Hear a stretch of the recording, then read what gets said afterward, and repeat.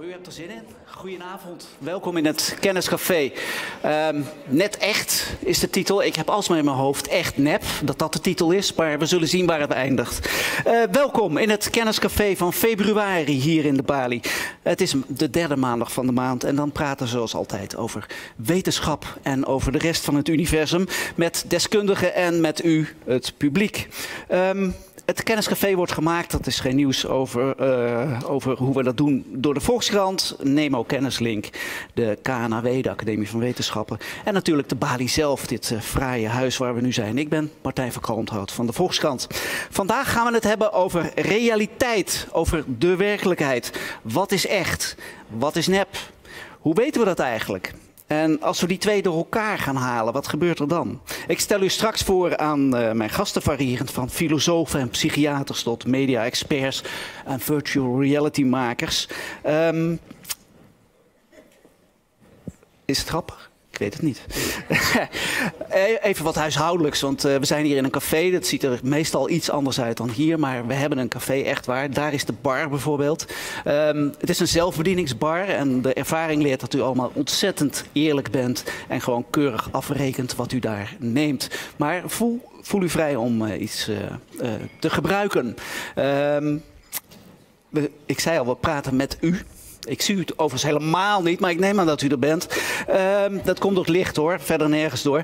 Um, wij praten ook met het publiek natuurlijk. En uh, het handigste is dat u dan even wacht tot er een microfoon in de buurt is. Dus als u een vraag of een opmerking hebt, steek uw hand op. Dan komen wij uh, in uw richting met een microfoon. Want dan kunnen we elkaar hier beter verstaan. Dat is de ervaring. En in ieder geval ook op het internet. Want we hebben een livestream zoals elke maand. Uh, waardoor mensen ook op afstand kunnen meekijken. En dan is het wel fijn als daar ook geluid bij is.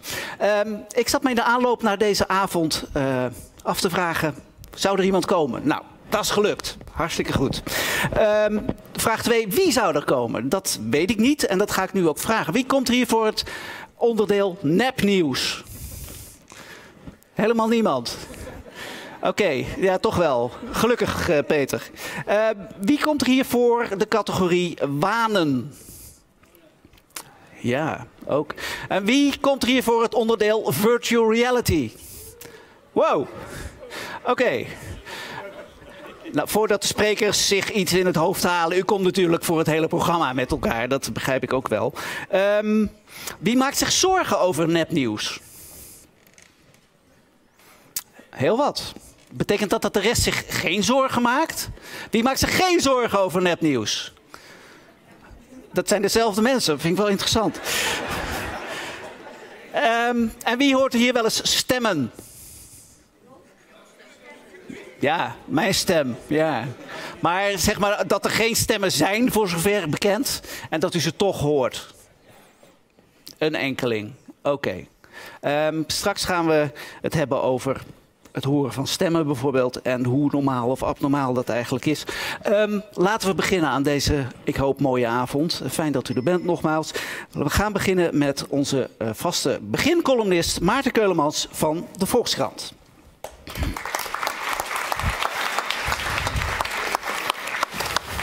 Goedenavond, dames en heren. Ben ik te horen, ja. Um, het wonderlijkste nieuws dat ik de afgelopen tijd heb gehoord... kwam niet uit de dacha van Poetin of uit de mond van Halbe Zijlstra. Nee, het kwam gewoon van de BBC. Een boer in Wales had een konijnenhol uitgegraven... en hij was daar gestuurd op een heuse ondergrondse grot van de Tempeliers. De Knights Templar. U ziet hier een foto ervan. Prachtig, hè?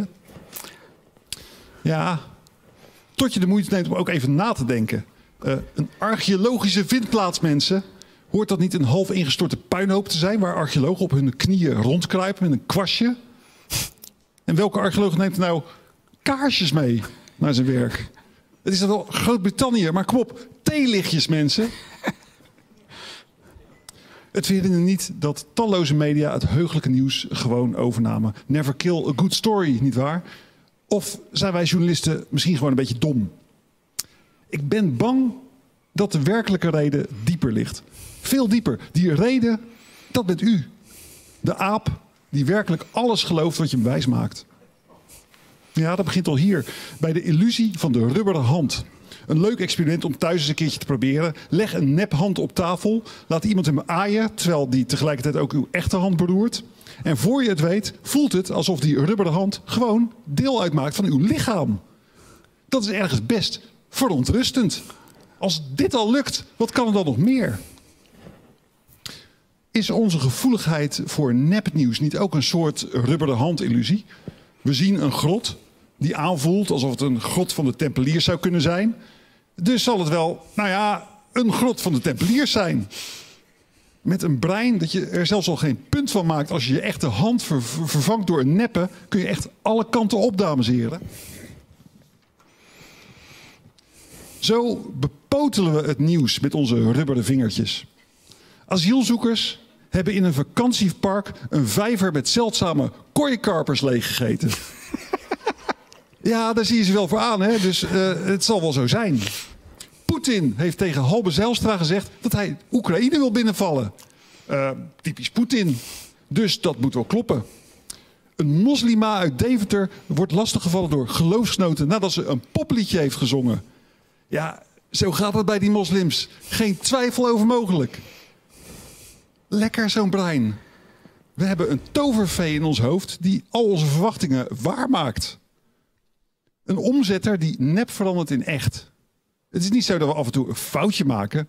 Nee, ons brein wil gewoon belazerd worden. Er zit dus eigenlijk maar één ding op. Doe uw ogen dicht en knijp af en toe eens echt goed in uw rubberen arm. Klopt het nog wel een beetje wat ik hier allemaal uh, meen te zien? Of pak gewoon zoals ik heb gedaan de telefoon en bel even naar Wales. Al snel kreeg ik daar de man aan de lijn die de Tempeliersfoto had geschoten. Er was helemaal geen archeoloog. Hij was gewoon een lokale bruidsfotograaf die voor de aardigheid wat sfeerfoto's had genomen in een plaatselijk bekende grot die in de 19e eeuw is uitgehakt ter vermaak van de rijken. Tempeliers had hij er niet gevonden. Wel veel lege flessen en gebruikte condooms, vertelde hij mij. Dat is tenminste een stukje, een stukje rubber dat geen illusie is. Dank u wel. Arte Keulemans, dank je wel. Dank je wel. Um, goed, we gaan beginnen. We gaan beginnen. Ik ga hier zitten en dan zult u zeggen, nou en? Maar daar gaat iemand anders zitten en dat is Sanneke de Haan, dames en heren.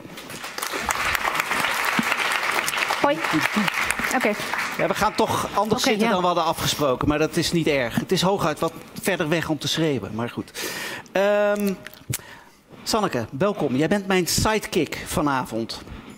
Um, jij gaat ons af en toe bij de les houden. Jij gaat proberen wat niet gezegd wordt zichtbaar te maken. Je bent filosoof, verbonden aan de Universiteit in Tilburg. Um, je studeerde onder andere in Heidelberg, Amsterdam, Utrecht. Klopt, ja, ik kan er ook niks aan doen. Ja. Uh, dat klinkt als een imposant palmares, zoals ze dat in het wielrennen noemen. Um, kun je ervan leven als je filosoof bent?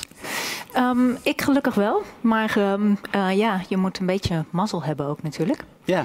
want heel veel banen zijn er niet, maar ja. Je hebt een baan in ik Tilburg? Baan, ja. Juist. Wat voor onderzoek doe je daar? Um, ik ben nu begonnen aan een nieuw project over um, authenticiteit in de psychiatrie. Mhm. En dat gaat eigenlijk over als je een psychiatrische stoornis hebt, dan beïnvloedt dat wat je denkt en voelt. En uh, stel ik ben bijvoorbeeld depressief en ik uh, heb geen, uh, beleef geen plezier meer aan mijn werk. Ja. Ligt dat nou aan mijn werk of ligt dat aan dat ik depressief ben? Um, en dat soort vragen, die betrouwbaarheid van je ervaringen, daar gaat mijn onderzoek nu over. En ook over de rol die je naasten zouden kunnen spelen daarbij. Dus hoe eventueel vrienden of familie je soort van feedback zouden kunnen geven op dat soort momenten. Um, ja, dus daar gaat mijn nieuwe onderzoek ja. Ja. Um, dat, dat klinkt richting psychiatrie ook. Ja, klopt. Um, daar weet je ook veel van. Maar uh, we hebben je natuurlijk al eerste plaats gevraagd als filosoof hier aan te schuiven. Omdat wij ons toch wel proberen af te vragen: realiteit, is dat een, is dat een werkbaar begrip? Dus kun je mij een, laten we zeggen, stoomcursus realiteit geven uit filosofisch perspectief? Ja, ik zal, uh, ik zal mijn best doen. Ja, eigenlijk specifiek wil ik het nog even ombuigen naar niet zozeer alleen de realiteit van wat, wat bestaat en wat is echt, maar ook specifiek de vraag hoe is ons contact met de realiteit? Want dat is ook waar we het dan vanavond over gaan hebben. Van, ehm, kunnen wij de wereld kennen of niet? En daar kan je zeg maar grofweg drie stromingen in uh, onderscheiden. Uh, het ene is objectivisme ook wel naïef realisme genoemd. Dat gaat er eigenlijk gewoon vanuit van als wij waarnemen, dan hebben wij direct contact met de werkelijkheid. Dus wij zijn als een soort passieve sponsjes en de werkelijkheid, daar, die komt direct bij ons binnen. Precies. Die is er. Uh, die is er, want je voelt het aan je hand. En ja. um, uh, dat heeft als voordeel dat het soort van intuïtief meteen is van ja, inderdaad, wij hebben contact met de werkelijkheid, dat klopt.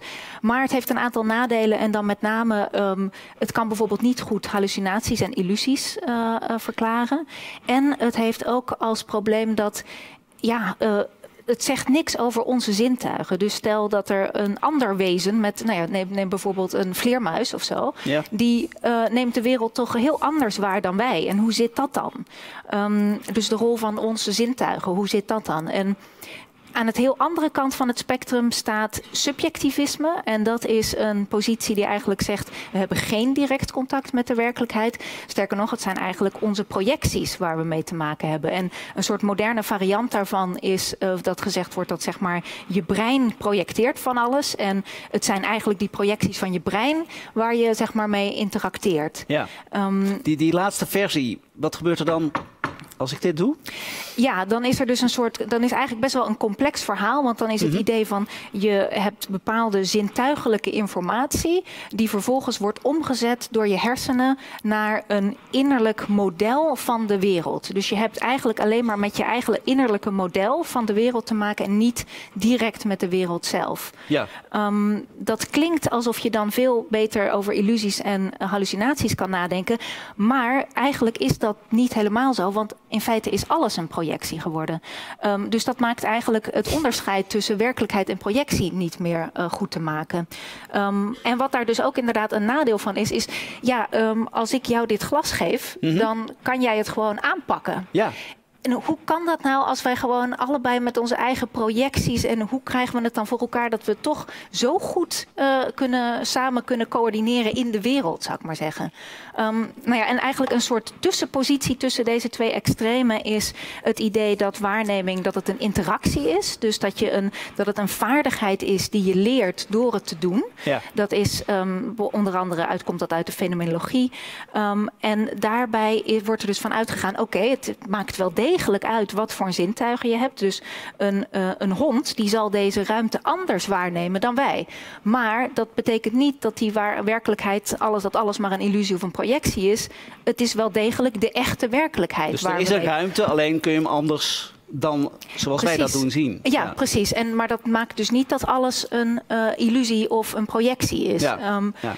Ja, is dit, gaat dit verder dan een filosofisch spelletje, een filosofisch ja, dat denk ik zeker wel. Interessant vraagstuk, maar... Nou, ik denk het zeker wel. En ja? dat zie je dan Waarom is dat belangrijk? Ja, dat zie je met name dus bijvoorbeeld in veel neurowetenschappelijk onderzoek... waarbij gewoon heel vanzelfsprekend van dat beeld wordt uitgegaan dat er een innerlijk model in je hoofd zit. En dat het dus niet, dat je niet direct contact hebt en dat het de hersenen zijn die dingen projecteren. En als je dat al van tevoren aanneemt, dan ga je heel ander soort vragen stellen. En dan ga je heel ander soort, heel ander soort verwachtingen, zou ik maar zeggen. Um, dan als je bijvoorbeeld inderdaad uitgaat van zo'n interactie-idee, waarbij de hersenen wel een rol spelen, maar niet, je neemt niet waar met je hersenen. Je neemt waar doordat je je, je moet je, je, je hebt niet alleen ogen en hersenen nodig, maar een heel lichaam waarmee je je door, en een werkelijkheid ook nog is, ook niet onbelangrijk, waar je dan doorheen beweegt. Ja, um, ja. Dus het maakt wel degelijk uit wat voor een impliciete aannames je hebt, wat vervolgens uh, voor onderzoek je doet. En, uh... Dit zijn natuurlijk hele, hele fundamentele vragen eigenlijk. Ja. Um, heb je het gevoel dat uh, wetenschappers die gewoon in de praktijk werkzaam zijn, zich daar voldoende van bewust zijn ook? Ja, nou, het is een beetje moeilijk om daar in zijn algemeenheid iets over te zeggen. Maar dat zal ik toch maar even doen. um, ja, ik denk dat het verleidelijk is om te denken dat je niet een filosofische theorie hebt. Dat je denkt, ik hou me alleen maar met de empirie bezig en ik mm -hmm. doe gewoon experimenten. En, maar dat dat eigenlijk in feite gewoon betekent dat je allerlei aannames hebt die je helemaal niet expliciteert. Um, en het is denk ik altijd beter om ze wel te proberen te ja, expliciteren. Ja. Dus filosofen moeten in dienst genomen worden Kijk, op allerlei. nou, nou, labs. wat dat betreft is er wel aardig nieuws. Want ik zag bijvoorbeeld in het eh, lab van Jeroen Geurts hier aan de Vrije Ja. Universiteit. Dat is een neurowetenschapper. Ehm, en die heeft een hele ploeg filosofen Ja, gewoon in klopt. dienst genomen, zou je Ja, zeggen. klopt. Die werkt inderdaad bijvoorbeeld met eh, Gerrit Glas ook veel samen. Dat is een filosoof. En, ehm, en die is inderdaad precies ook geïnteresseerd in wat zijn nou, eh, wat zijn nou de veronderstellingen waar ik, waar ik gewoon die, die ik niet eens meer zie. Want ik ben er zo, als je zo vanuit zo'n Mhm. neurowetenschappelijk beeld, dan ben je zo op de hersenen gefocust dat je dat dan bijvoorbeeld al niet eens ziet dat je dat doet. Leidt zoiets tot betere wetenschap? Ik denk van wel, ja. Oké. Nou, ehm, laat maar zien wat jullie kunnen vanavond. Dankjewel. Ehm wij, wij vragen onze eerste, eerste gast, want ik moet onze eerste gast eh, zeggen. En dat is Frans van Hoezel. Frans. Van Hoezel, dames en heren. Kom erbij. Ehm, dat vergat ik eigenlijk te zeggen. Eh, wil je iets drinken uit de bar bijvoorbeeld? Nou, straks wel even. ja. Straks? Ja, Nu straks niet? wel even. Nee, nou even niet. Geen bier, geen wijn. Een beetje water misschien. Ja, precies. Oké, dat gaan we doen. Frans, eh, van het, en dat vind ik meteen het mooiste woord van de hele avond, zal ik je vast verklappen. Van het Reality Center van de Universiteit Groningen. Het. Reality Center, hoe vindt u dat?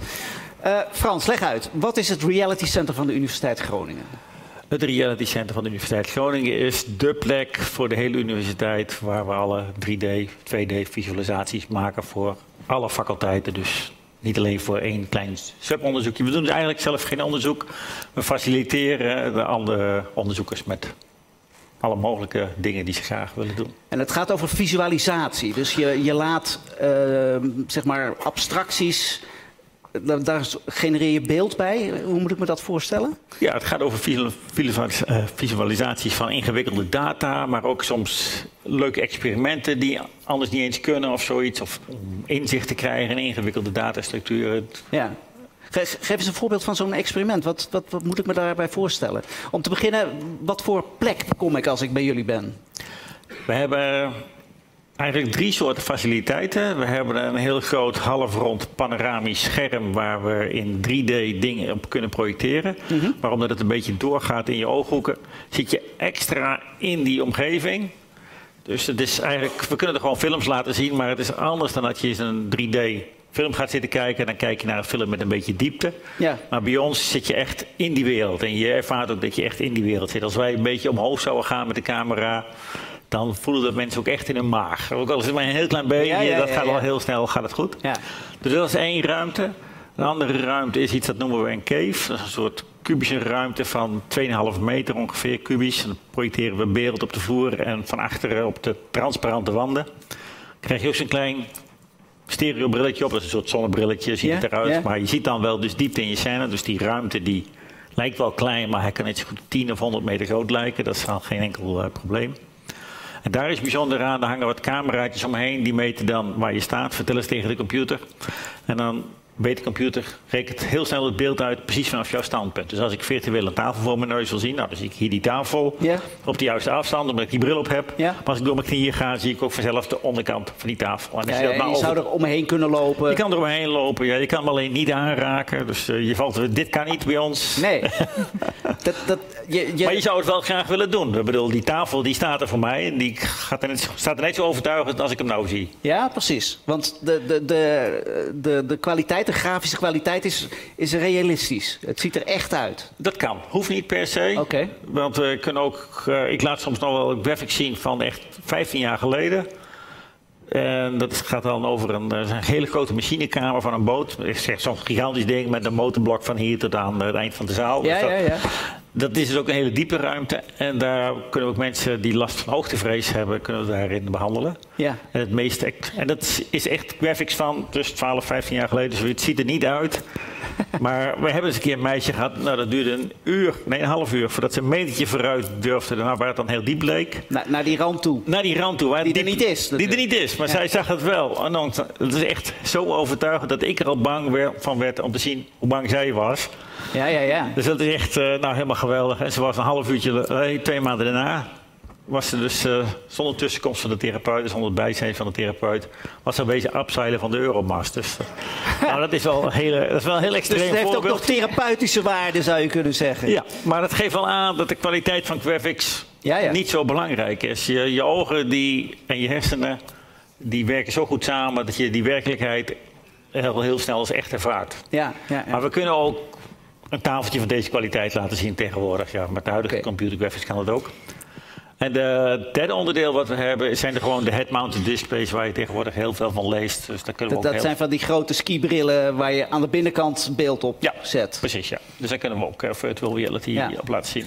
Wetenschappers vinden dat spannend, interessant. Eh, ze hebben wel wat beters te doen. Hoe, hoe, eh, Nou, weet ik niet. hoe gaan ze ermee om? Ehm, nou, ze komen met verschillende data bij ons. Dus je vroeg net wat voor een experiment. Ja. eh, nou, het allereerste experiment wat we ooit gedaan hebben, dat, eh, ik vertel het net tegen mijn buurman, eh, was een chicken experiment. Dan komt er iemand op je aflopen en wanneer stap je opzij? Nou, dat is een heel oud experiment. Jij kent het vast ook wel, denk ik. In dit geval was de context heel anders. Het ging dus eigenlijk niet om het chicken experiment, maar om de andere context.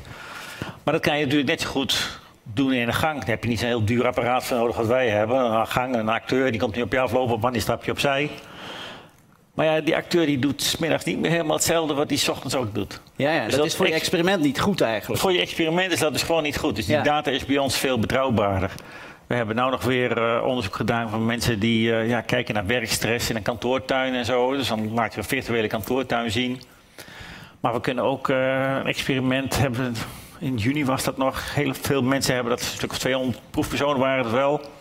Van wat is de invloed van de grootheid van je omgeving op de beslissingen die je maakt? De grootsheid van je omgeving. Ja, als ik een hele grote, wijde omgeving heb, dan maak je blijkbaar andere beslissingen als dat je dat gewoon in zo'n zaaltje doet eh, Ja. als dit. En op wat voor manier dan anders? Dat als je een hoog plafond hebt, dat je dan bescheidenere meningen of juist Ja, ik, niet? ik heb het antwoord van. Ik doe het onderzoek zelf niet. Hè. Wij ja. faciliteren dus met het onderzoek en hij is er nog mee bezig. Maar hij is er al heel blij met zijn preliminary eh, results inderdaad. Maar dan hebben we dus inderdaad over een hele grote, nou, een beetje Grand Canyon-achtige omgeving hebben ze laten zien, ervaren. Maar, ik zeg laten zien, maar ik bedoel echt ervaren. Ja, dan maakt hij zijn onderzoek aan de hand daarvan. Ja. Ja. Heb je het gevoel dat, dat, dat mensen makkelijk geloven wat jij ze voorzet? Ja. Geen enkele twijfel over. Heb je, heb je dat zelf trouwens ook, als jij daar eh, Nee. bent? Nee, jij, ziet, jij ziet wat het echt is. Ja, ik zie alle foutjes. Ik weet natuurlijk wat er allemaal gebeurd is. Maar de, nee, de emoties die mensen erbij hebben, die is zo overtuigend dat het wel echt is. Het is niet zo dat het voor iedereen echt is. Ik bedoel, eh, dat, van die hoogtevrees bijvoorbeeld. Ja. Dat werkt natuurlijk vooral bij mensen die last hebben van hoogtevrees. Die zijn al tevreden met een klein beetje hoogtevrees, ook al is het nep. Ja. Bedoel, laten we een spin rondlopen of zoiets, dan krijg je mensen die bang zijn voor spinnen. Maar er zijn andere mensen die denken, nou ja, een computerding, dat is helemaal niks. Ja, ja, ja. Dus, ja. eh, maar ja. dus er moet wel een, een soort reden zijn dat, dat het aanslaat. Als je bang bent van spinnen, dan slaat dat heel snel aan. Ja, ja. Nu, nu eh, afgezien van de spinnen, is natuurlijk, je hebt het over datavisualisatie. Dat, dat gaat ook over eh, abstracte gegevens die op een of andere manier een, een vorm laat hebben. Begrijp Ja, dat goed? kan ook. Ja. Ja, je kan je.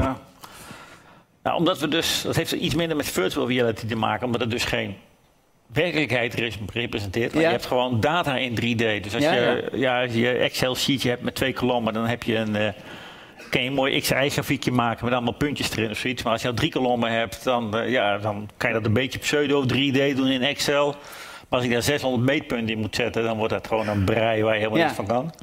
En wij kunnen het echt uitdelen in uitrekken over drie dimensies. We hebben wel eens een keer vijfdimensionale NMR-data. Dat is wetenschappelijke scheikundedata. Ja? Vijfdimensionale data hebben we ons laten zien. Dus dat is ook wel heel spectaculair. Dat is heel wetenschappelijk, maar wel heel spectaculair voor die mensen. Maar de, de, de grap is natuurlijk dat je dan zeg maar, in, een, in een totaal abstracte, kunstmatige wereld bent. Ja. Maar wel daar een gevoel bij hebt alsof je je kunt oriënteren en zo. Ja. Ehm, en dat raak je niet snel kwijt, kennelijk. Nee, het is ook wel zo dat, eh, ook gewoon met echte data. We hebben bijvoorbeeld eh, mensen van de NAM, sorry. Moet ik sorry zeggen? Ja, tegenwoordig wel. Ja, dat weet ik NAM. niet. Nou ja. Onder Groningers is het een. eh, ja, ja, ja, precies. eh.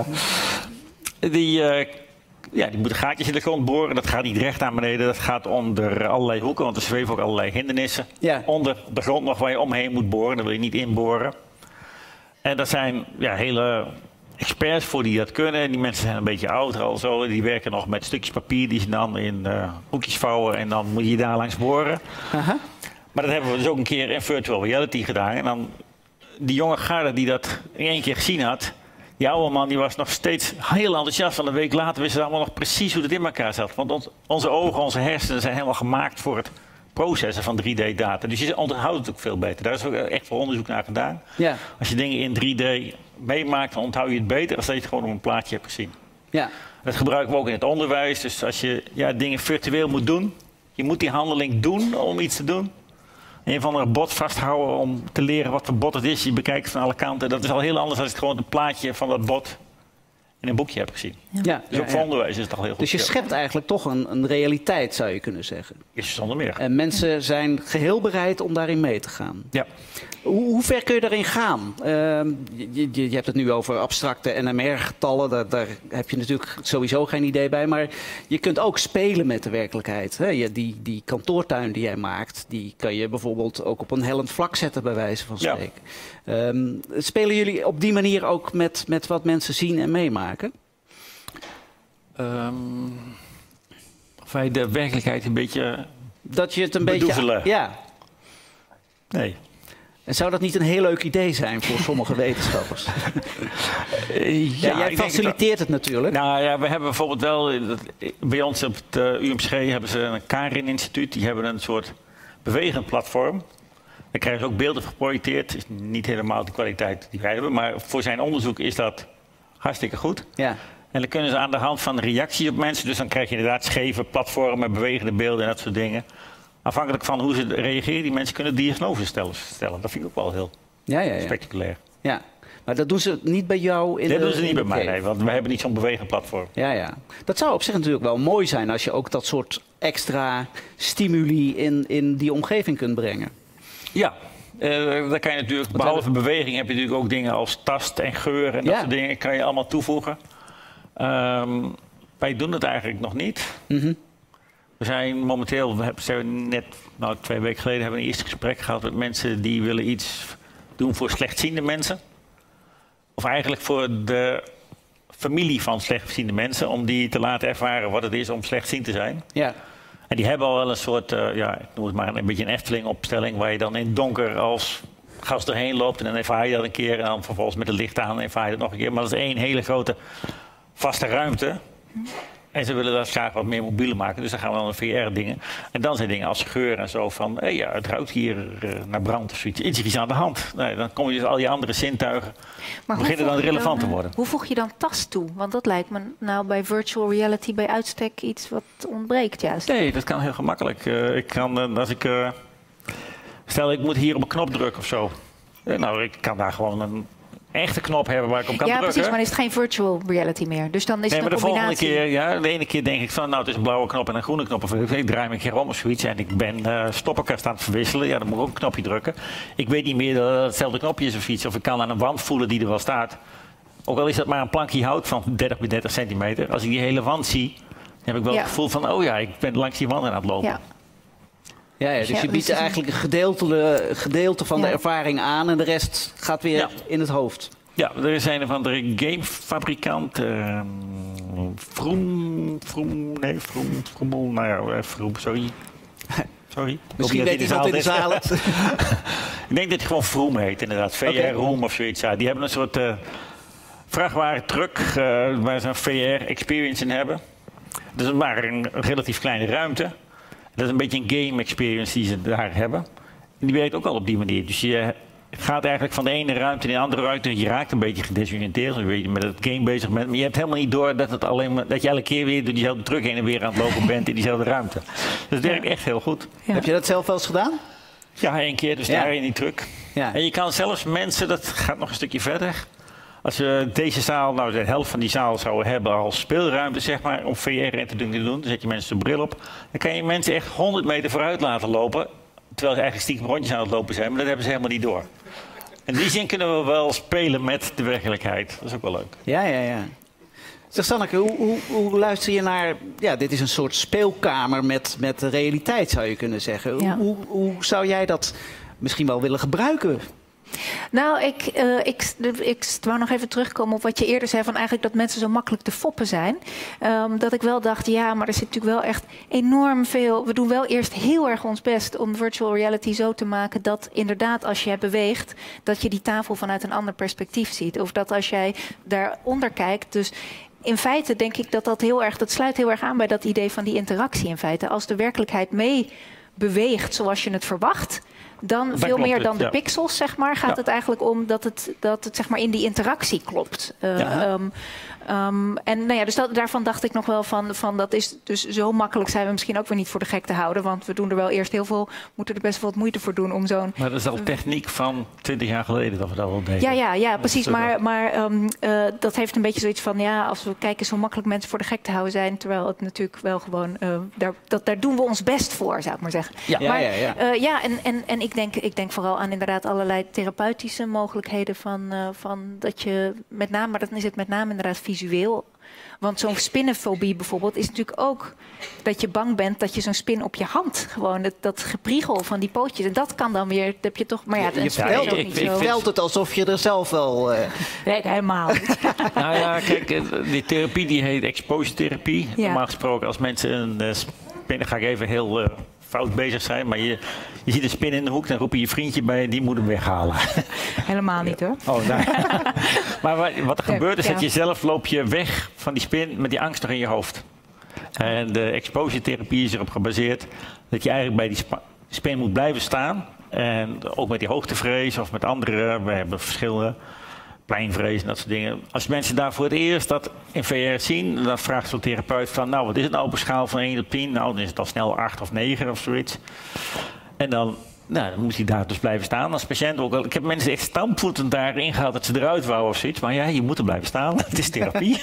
ja, ja, ja. ja. En, um, als je dat dan vijf minuten later nog weer vraagt, dan zakt het af naar zeven. En dan wordt het dat is dan stil heel stuk acceptabel. Maar als je die ervaring een paar keer hebt gehad, dan kunnen de mensen hiermee overweg gaan. En dan vind ik spinnen eigenlijk helemaal niet relevant, want je kan 800 worden, of 100 in ieder geval, uh, door acht, angst voor spinnen te hebben. Maar als je, we hebben ook een keer een kraanwerker gehad, ja, die had last van hoogtevrees. Ja. Dan begint het wel een probleem te worden natuurlijk. En dan kan je er iets aan moeten doen. Een kraanwerker ook, uh... met hoogtevrees, ja. ja. konden jullie er iets aan doen? Of nee, konden ze er iets aan doen, moet ik natuurlijk nee, steeds nee, zeggen? Nee, want de verzekering wou het niet betalen. Dus het ging, uiteindelijk ging het niet door. Oké. Okay.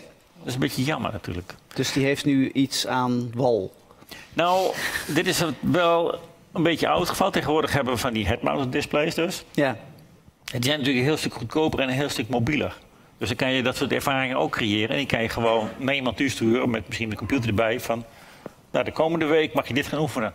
Ja. Dus dan kan je met veel meer mensen kan je dat doen als bij ons in die cave, wat eigenlijk maar een eenpersoonstherapie zou zijn dan. Ja. Ja, ja. En beklijft het ook, zeg maar. Dus als ik oefen met een plein, met pleinvrees, met in een, is het dan even, is het dan een echt plein? Is dat, werkt het even goed dan, zeg maar, in de echte realiteit? Weet ik je noemde dat? net het voorbeeld van het meisje dat ging upseilen na twee ja, maanden. Nee, dat dus. is, dus dat ik denk, is heel uh, dat het antwoord ja moet zijn. Ja. ja. ja. Nee, dat is leuk. Zullen we eens even naar de zaal gaan? Zijn er, zijn er vragen of opmerkingen wie zou er wel eens in een cave willen staan, bijvoorbeeld? Wie niet? Wie niet? Wie heeft er hier een virtual reality bril? Oké. Okay. Um, dat is voor gaming, neem ik aan. Nee? Voor iets anders? Wie gebruikt hem niet voor gaming, maar voor iets anders? Oké. Okay. Um, wie had die bril? Oh, er is een vraag. Sorry. Ja, ja. ja, dat zie ik niet. Ik zie alleen maar licht. Um, Hallo. Hoi, ik vroeg me af hoe het werkt als je data in 5D laat zien. Zeg maar, hoeveel, hoe kan dat? ja, dat is het. De 5D, ja, ik heb zelfs natuurkunde gedaan, dus dan gaat het wat makkelijker in vijf dimensies. We maken niet zoveel verschil tussen 1, 2, 3, 4 en 5 dimensies. Het is gewoon een as waarin, waarin langs je iets meet. In dit geval meet je frequentie langs drie assen. En het gaat dan om moleculen en dan moet je een structuur van een molecuul zien te vinden ja, klinkt een beetje ingewikkeld. Is het nog steeds, want ik leg eigenlijk niks uit. maar het had wel vijf assen. Nou, vijf vonden we eigenlijk een beetje te veel. Dus dan hebben we eerst een computerprogramma heel erg goed je best laten doen. Hoe je die vijf dimensies zo goed mogelijk op vier dimensies kan laten zien. Dat is net zo goed als wij een 3D-plaatje, hoe draait die kubus of die wereld zo mogelijk dat het mooi plaat, plaatje kan maken, zo optimaal mogelijk, zoveel mogelijk data zie. Zo kan je dat ook van 5D naar 4D doen. En vervolgens hebben we dus in 3D een 4D kubus laten zien met al die data erin. Net zo goed als wij op 2D een fotootje van een kubus kunnen laten zien en wij daar nog steeds een kubus in zien. Ja. Mensen moesten er wel heel erg aan wennen eerst. Het is natuurlijk wel een, een hele rare wereld, want die kubus ja, die wordt heel dynamisch, die wordt heel vloeibaar bijna zo'n kubus in vier dimensies. Het is wel een heel grappig effect. Het lijkt me ingewikkeld. Ja, nou het, het voordeel, het ging eigenlijk het ging om afstanden tussen die moleculen om te doen. Dus als je, dan ga ik er toch een beetje eh, wat eh, van vertellen. ja? Als ik eh, drie moleculen heb, of drie atomen heb, ja, die hebben een bepaalde afstand. En ik heb een vierde, die heb ik ook gemeten. En die moet een andere afstand hebben tot deze vier atomen. Nou, dan kan ik hem boven hangen, dan kan het totaal goed zijn. Maar als ik nog een vijfde heb, en die moet ook dichtbij zijn, ja, maar dan moet die eigenlijk hier naartoe, dat molecuul. Want dan past die beter bij dat vijfde molecuul. Nou, als dat langzaam wil gaan optimaliseren, dan wil je dat atoom een beetje met de simulatie die kant op duwen. Maar dan beginnen deze drie te sputteren van nee, dat komt veel te dichtbij, dat wil helemaal niet. En in vijf dimensies kan dat zomaar. Het is eigenlijk hetzelfde als je dat in plat vlak doet. Ik heb hier even in een plat vlak twee punten en hier een derde. En dan moet dit punt moet eigenlijk daar naartoe. Terwijl deze afstand hetzelfde blijft. Nou, dit punt wil niet, want dan wordt dit te kort. Ja. Als ik dat in drie dimensies doe, dan pak ik het op en dan kan ik het zo heel mooi die kant heb op je draaien. ex- extra ruimte eigenlijk. Dan heb ik die extra en, en dat dimensies. zijn dingen, je- dit doe je nou met je handen, maar ik probeer me voor te stellen hoe dat dan in die cave is. Kun je dan dingen oppakken en ergens anders neerzetten? Is We dat kunnen, het we idee? konden het, in dit geval konden we het alle kanten op Ja, ja. roteren en bekijken en dat soort dingen. Ja. Maar er zijn natuurlijk ook heel veel, ja, gewoon echt wetenschappelijke simulaties. Het is niet alleen dit soort moleculen. Er zijn ook mensen die doen berekeningen met stromingsleren en zo en dat soort dingen. En dan, stromingsleren is best heel ingewikkeld. Dat heeft met, al, eh, met drukken te maken. Dus, en druk is een raar ding, voor computers in ieder geval. Want als ik daar de deur dicht sla, dan voel je dat in één keer hier Ja. in de kamer rammelen. Dus druk gaat eigenlijk door de hele ruimte heen. Dus als je dat water moet simuleren, het ging over water en je, hier is de druk, die gaat iets omhoog, dan moet je dat eigenlijk doorrekenen naar alle andere watermoleculen of kubusjes doen we dat dan, die simulaties. Dus een hele ingewikkelde berekening. Er zijn dus wiskundigen mee bezig om dat allemaal zo optimaal mogelijk te krijgen. Maar die kijken naar grafiekjes van hoe gedraagt de druk zich en dat soort dingen. Maar wat kun jij dan, in die cave? Dan kunnen wij kunnen we die golf dus als echte golf ook laten zien. Nou, dan, ik ga het een beetje ja, schetsgerend weer zeggen. Dat is een beetje droge wetenschapper. Maar hey, normaal gesproken is ja, het is een wiskundige. Hè? Dus je Ja. kent ze. Maar die En die kwam in die cave. Nou, die man die bloeide echt helemaal op. Die werd er helemaal gelukkig van. Die- ja. Ja, ja, ja. We hebben sterrenkundigen gehad. Die kijken naar botsende sterrenstelsels. Allemaal heel mooi. Ons sterrenstelsel gaat botsen op Andromeda-nevel. Gaan wij niet meer meemaken, want tegen die tijd bestaat de aarde niet meer. Maar wetenschappers rekenen er toch uit hoe dat gaat. Want je kan het natuurlijk vergelijken met andere sterrenstelsels, hoe dat eh, eruit ziet. En dan krijg je hele mooie spiraalarmen te zien en dat soort dingen. Het is een hele mooie data om naar te kijken. Dus wij, die sterrenkundigen hadden het uitgerekend. Die hadden al een jaar lang hadden ze onderzoek gedaan van wat gebeurt hier allemaal. Allemaal keurig onderzoek Ja, op ja, ja. gepubliceerd. En toen hebben wij die data kwamen erachter dat die bestond. Toen hebben wij die mooie interactieve visualisatie gemaakt. Ze zijn uitgenodigd bij ons te komen kijken. En toen ontdekten ze nog de plekken, eigenschappen die ze van tevoren niet gezien hebben. En dat is natuurlijk de kracht van een goede Ja, ja, dat je- interactieve dat je echt iets ontdekt als je kijkt. Omdat Ja. je het in 3D ziet van, hé, hey, ik beweeg je hoofd een klein beetje, dat is toch wel interessant. Ja, Terwijl op een computerscherm je een knopje draaien en dan hopen dat het goede stand staat en dat soort dingen. Dat is allemaal Oké, het, het nut van nep zou je kunnen zeggen eigenlijk. Dat vind ik mooi beschreven. ik weet niet of ik het helemaal mee eens ben, maar het klinkt wel goed. Ja. We waren nog even bezig met eh, wat handen daarachter, ja? Overigens, als u het, als u het prettig vindt, eh, mag u ook zeggen wie u bent. Maar het hoeft niet. Hi, eh Avinash Shanga van eh We Make VR. Wij maken ook VR-ervaringen. Wat wij hebben onderzocht en geleerd is dat als je een VR-ervaring maakt die wel heel realistisch is, dus niet met graphics, maar gefilmd, eh, dat mensen andere sensaties als bijvoorbeeld warmte en wind denken te voelen, zonder dat we daar bijvoorbeeld een ventilator of een hittestraal Ja, klopt, voor, ja. voor gaan gebruiken. Hebben jullie dat soort, dat soort fenomenen ook ontdekt of onderzocht? Wij hebben het niet ontdekt, maar het is inderdaad, ik heb het ook, eh, die Vroom, die man van Vroom, daar had ik het mee over gehad. Die, eh, die kamer loopt op een gegeven moment onder water. Doen, nou, dat zijn ook mensen die om hem heen die doen suggesties van ja, maar geur en wind en weet ik veel wat. En die man die wil het gewoon niet. Want die mensen die daar in die VR-omgeving zijn, die zijn al zo overtuigd van dat dat water door hun nek komt, terwijl ze alleen maar visueel zien. Maar ze willen er wel uit omdat het water door hun nek komt, lijkt te komen. Ja, ja, dus, Dus de- ik geef je helemaal gelijk. eh, dat is dus wel een bestaande ervaring. Dus Visueel gezien is je impact heel erg groot. Ja. Visueel is dus heel belangrijk, heel krachtig. Is heel Dat- krachtig. ja, ja, ja. Geur is ook wel heel krachtig in het oproepen van herinneringen, dat soort dingen. Maar het geeft je niet van, oh ja, nou zo ziet die kamer in elkaar. Het heeft geen directe impact. Ja, als het brand is, zoiets, dan ruik je dat, dan doe je wel wat. Maar Ja. ja. ja. Ehm, wie had er hier nou een VR-bril? U? Nee? Maar wel een vraag. Oké, die VR-bril dat komt straks wel. Eh, we doen eerst nog een paar vragen. Ik vroeg mij af eh, of, wat u net zei, die kraandrijver die hoogtevrees eh, heeft, is dat niet een ultieme vorm van nepnieuws? Om wat thema's te Ik- verbinden. Ik denk als je aan hem vraagt dat hij er heel anders over denkt. hij belde zelf, dus eh, ja. ja. Wij zijn erin getuind. Ja, sorry. Nog vragen of opmerkingen, ja? Nou, een opmerking wat betreft eh, virtual reality eh, toepassing in psychiatrie. Het is nu al actief. Het wordt voornamelijk op dit moment gericht op posttraumatische stressstoornis. Door iemand bloot te stellen aan een ervaring, die sensitieven ze. Ja. Nou, je kan eerst instantie iemand in een nepmilieu daar blootstellen aan en dan uiteindelijk de volgende stap in behandelingscel in echt, in vivo.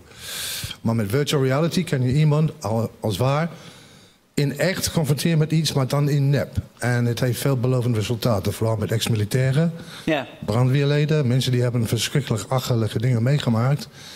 En dan in, met computer graphic aided ehm, eh, graphics. Het wordt zo echt dat je dan na een aantal behandelingen merkt dat ze wordt steeds meer gedesensitieerd wordt. Dus is nu al actief eh, in de psychiatrie, virtual Ja, ja. reality eh, behandeling voor eh, En op dat- dit dat- moment posttraumatische stressstoornis. Ja, en dat gaat dan bijvoorbeeld, u zegt u over militairen die Militairen, in, in, in mensen- nagebootste gevechtssituaties of gevaar komen. Wat dan ook hun grootste eh, kwelling is, kan volkomen nagebootst worden. En dan, zoals die andere meneer zei, vaak door de echtheid van de beelden, ja, kan allerlei associaties daarmee ook opgeroepen worden. Wat ze ruikte toen die tijd. eh, wat ze voelde, eh, de zweet, eh, de, de, de koordheid, wat dan ook. Komt allemaal weer naar boven. En hoe vaker je wordt daaraan blootgesteld, zonder dat er werkelijk gevaar is, ja, hoe meer het desensiteert en uiteindelijk ja, ja. ja. kom je weer bovenop. Dus het heel Nou, een gewaardeerde toevoeging aan behandelmethoden voor PTSS. Oké, daar, daar kunnen we straks met Iris Sommer denk ik ook nog wel even over Klopt praten. inderdaad. En een voordeel van VR is ook dat het dan veilig is. Ik bedoel, normaal gesproken is mensen met hoogtevrees dan zit je ze op een hoge brug of zoiets. Ja. Of een klimt een hoge toren. Maar als ze dan een angstaanval krijgen, dan kan je helemaal niks meer met die mensen doen. Ja. En bij ons is het keefje, je zet het beeld uit en het is direct En je over. geeft ze een kopje thee en dan... Het is direct ja. over. En dat kan natuurlijk onder posttraumatische stress. Is het ook zo, als die mensen kan je een meest vreselijke omgeving aanbieden of zoiets. Maar als het te veel wordt, dan kun je het direct weer helemaal tot Ja, ja, ja. maken. ja. Dus ja. Een panic button. ja. Ja. Wie nog? Daar? Oh, eh, we gaan eerst even naar boven en dan komen we vast ook bij u terecht. Goedenavond. Ehm, ik vroeg me af, want eh, ik hoor allebei wel een beetje de meerwaarde van virtual re- reality eh, versus een meteen in de, eh, in de echte wereld, zeg maar. Maar als je zo'n virtual reality meemaakt en je hebt een bepaalde angst voor muizen of wat dan ook, ben je er dan niet heel bewust van dat het een virtual reality wereld is, dus semi-nep. En dat, eh, dat die clash dan nog groter wordt wanneer je in de echte wereld bent. Dat je heel bewust bent van dit is eigenlijk niet helemaal eh, hoe het echt is. Ehm, nee.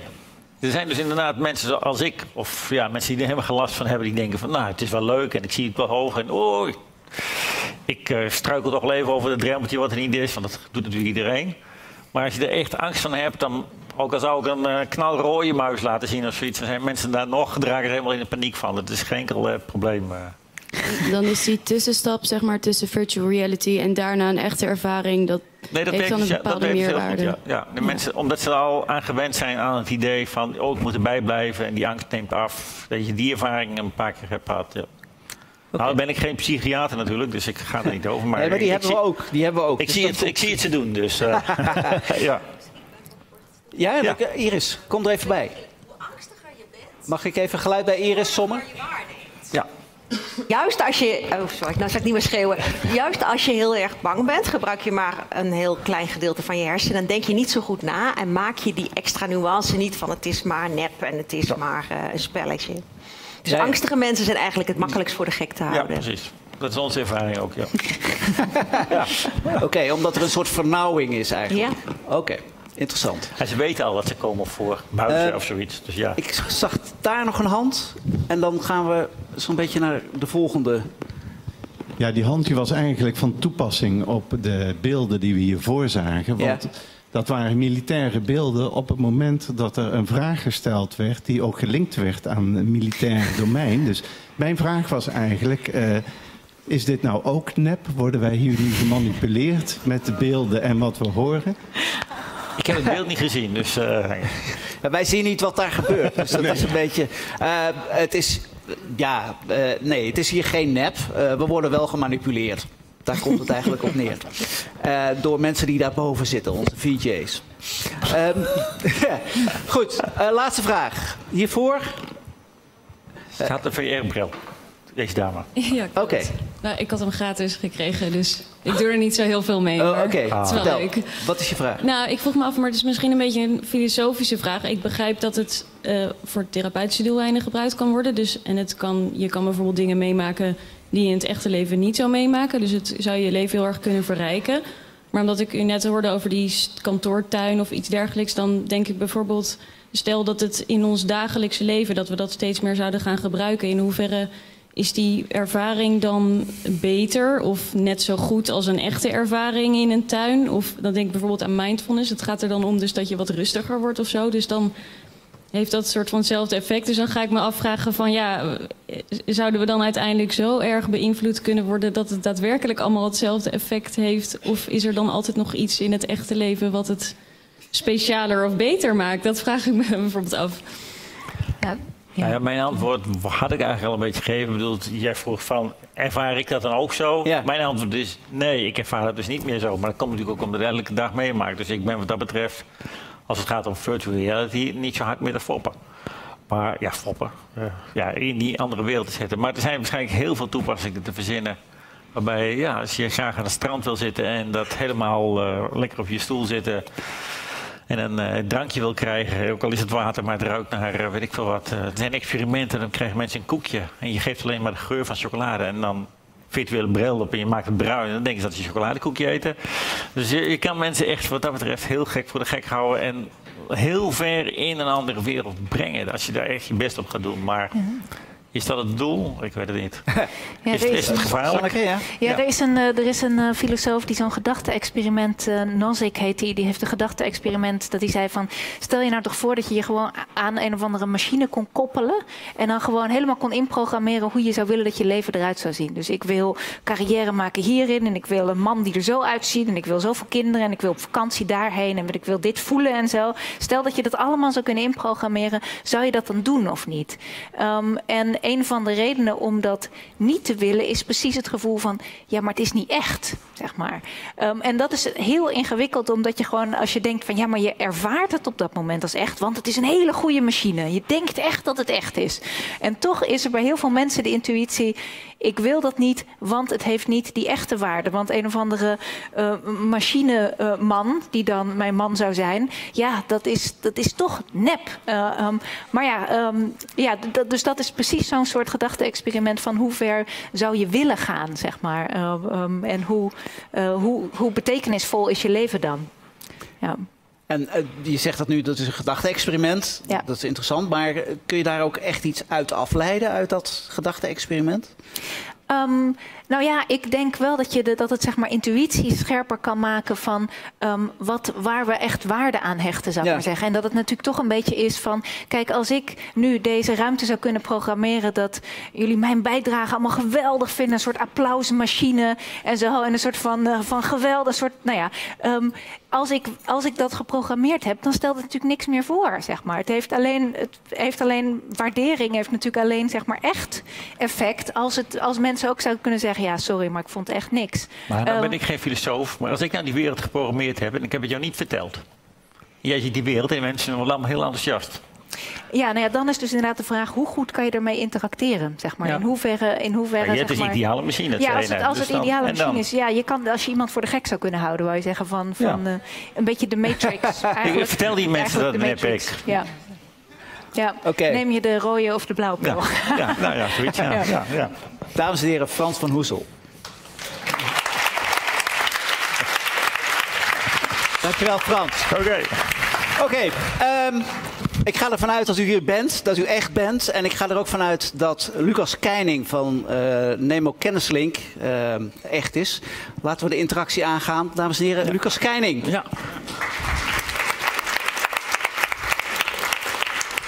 Goedenavond. Eh, ik zal alvast meteen maar bekennen dat ik u ook een beetje voor de gek ga houden. Maar ik, ga- ik ga proberen ook uit te leggen hoe ik dat doe. En ehm, dat is met een aantal illusies. En eh, net, net hadden we het over virtual reality. En daar, dan moet je ook goed weten hoe dat nou werkt. Hoe je dingen waarneemt. En er zijn heel veel illusies die eigenlijk heel goed eh, het licht werpen. Zeg maar, of ons uitleggen hoe onze ogen en onze hersenen werken. Dus we gaan een aantal proefjes wil ik graag met u doen. Ehm, dan mag die Tessa mag naar de eerste slide. Ehm, voordat dat- ik, u laat, ik laat u zo een filmpje zien. En ik wil graag weten wie u ziet. En als u dat weet, mag u dat heel hard roepen. U, u ziet het nu al, hè? Ja. Roepen.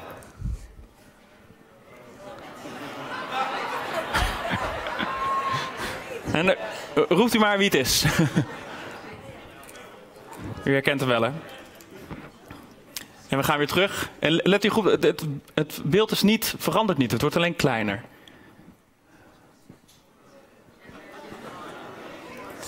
En daar is ze weer. Bij het eh, volgende plaatje dan ziet u het, het beeld wat we gebruikt hebben. En het grappige is, eh, het is dus de twee foto's van Marilyn Monroe en Albert Einstein door elkaar. En ehm, als het klein is, dan ziet u vooral de vage omtrekken, de vage vlekken, zeg maar, die het gezicht hebben van Marilyn Monroe. Maar van dichtbij, dat ziet u nu ook wel, dat zijn de, eh, zeg maar de subtiele lijntjes. En dat is juist het gezicht van Albert Einstein. En dat ziet u pas als het dichterbij is. Dus is, ja, je kunt je afvragen of het een illusie is, maar het, zit er dus beide in verpakt. Ehm, gaan we naar het volgende experimentje. U moet, eh, het idee is om eh, uw ogen te richten op het kruis en dan te kijken wat er gebeurt.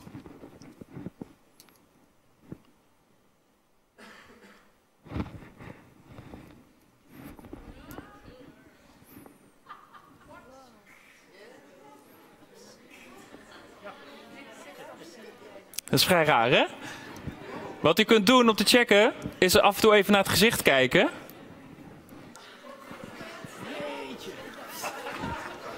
Apart, hè? Ja.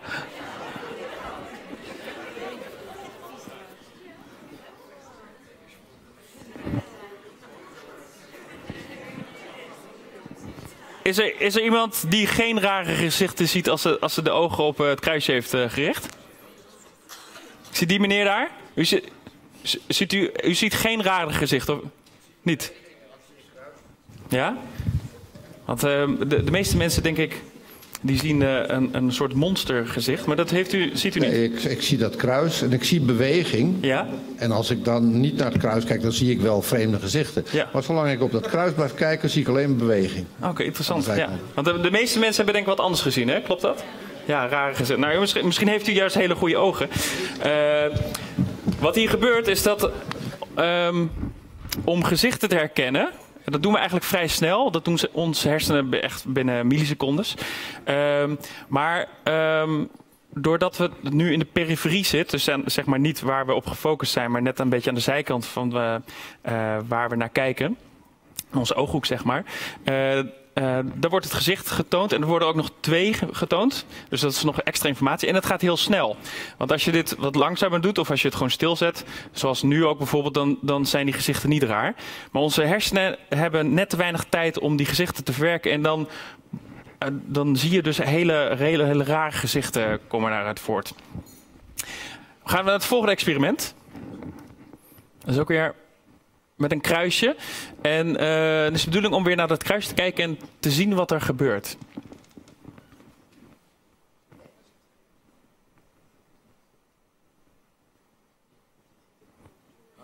En u kunt even checken of datgene wat u denkt dat, er, dat u ziet, of dat er echt is. Dus u moet even naar de zijkant kijken. U ziet waarschijnlijk een groen bolletje, klopt dat? Ja, maar is dat groene bolletje, is dat er eigenlijk wel? Nee. En toch ziet u het. Dat is gek. en waarschijnlijk bij een groot aantal mensen zullen ook de, de roze of magenta bolletjes een beetje verdwijnen. Terwijl ze verdwijnen eigenlijk helemaal niet. Hoe komt dat nou? Nou, wat er gebeurt is dat als je uh, in, de, in, de in de buitenkant van je ogen, uh, dat vullen we eigenlijk voor een groot deel in. En als je steeds naar het kruisje kijkt, het merendeel daaromheen is lichtgrijs. En na een tijdje gaan je ogen dat de rest ook lichtgrijs invullen. Omdat die bolletjes vrij een, een hele vage grens hebben. Dus dat verklaart waarom die roze bolletjes op een gegeven moment verdwijnen. En als je een uh, bepaalde kleur die een hele tijd uh, in een bepaalde oogzenuw steeds maar op met een bepaalde frequentie wordt uh, uh, geactiveerd. Dus als je de hele tijd roze ziet, dan wordt het op een gegeven moment uh, wordt het een beetje genegeerd. En als het dan eventjes verdwijnt, dus het roze bolletje verdwijnt even, dan zie je juist de complementaire kleur. Dus die, diegene die daar, uh, die daar net complementair is. Dus, en dat is in dit geval groen, lichtgroen. U, heeft, u ziet het misschien ook als als u lang in de zon heeft gekeken, of net iets te lang. En je kijkt dan weer naar andere dingen, dan wordt het een beetje een blauw vlekje. En dat verandert ook een beetje van kleur na verloop van tijd. Dat is eigenlijk hetzelfde wat hier gebeurt. Dan zit ik even te kijken. Ja, we hebben, we hebben nog een illusie. Dat is een soort variant van de uh, cafémuur-illusie. Dus je kan het ook met blauwe, of uh, sorry, met zwarte en witte tegeltjes doen als je die net een beetje uh, scheef van elkaar neerzet. En het lijkt heel erg, als u, tenminste voor de meeste mensen, zo, zou het lijken dat deze lijnen helemaal scheef lopen. Dat ziet u denk ik ook, hè? maar het gekke is, als u, eigenlijk is dat niet zo. Dat lijkt alleen maar zo. En dat met het het filmpje wat nu komt, dan, gaat, dan wordt het vervaagd. En dan vallen dus alle details weg. En dan zie je ineens dat het gewoon helemaal recht is. Dus het zijn al die kleine details, die diamantvormige uh, dingen daartussen, die ervoor zorgen dat je denkt dat het scheef loopt. Nou zijn er wetenschappers die zeggen dat uh, je, kan, je kan denken van nou dit is alleen maar uh, je ogen en je hersenen werken eigenlijk niet zo goed. Maar waarschijnlijk zijn al dit soort dingen juist zo door de evolutie ontstaan omdat het in heel veel gevallen juist een goed, goed uitpakt. maar met dit soort trucjes die laten eigenlijk zien dat je daardoor dus niet altijd de werkelijkheid ziet zoals die is. Nou met die gedachten laat ik u graag weer verder debatteren. Bedankt.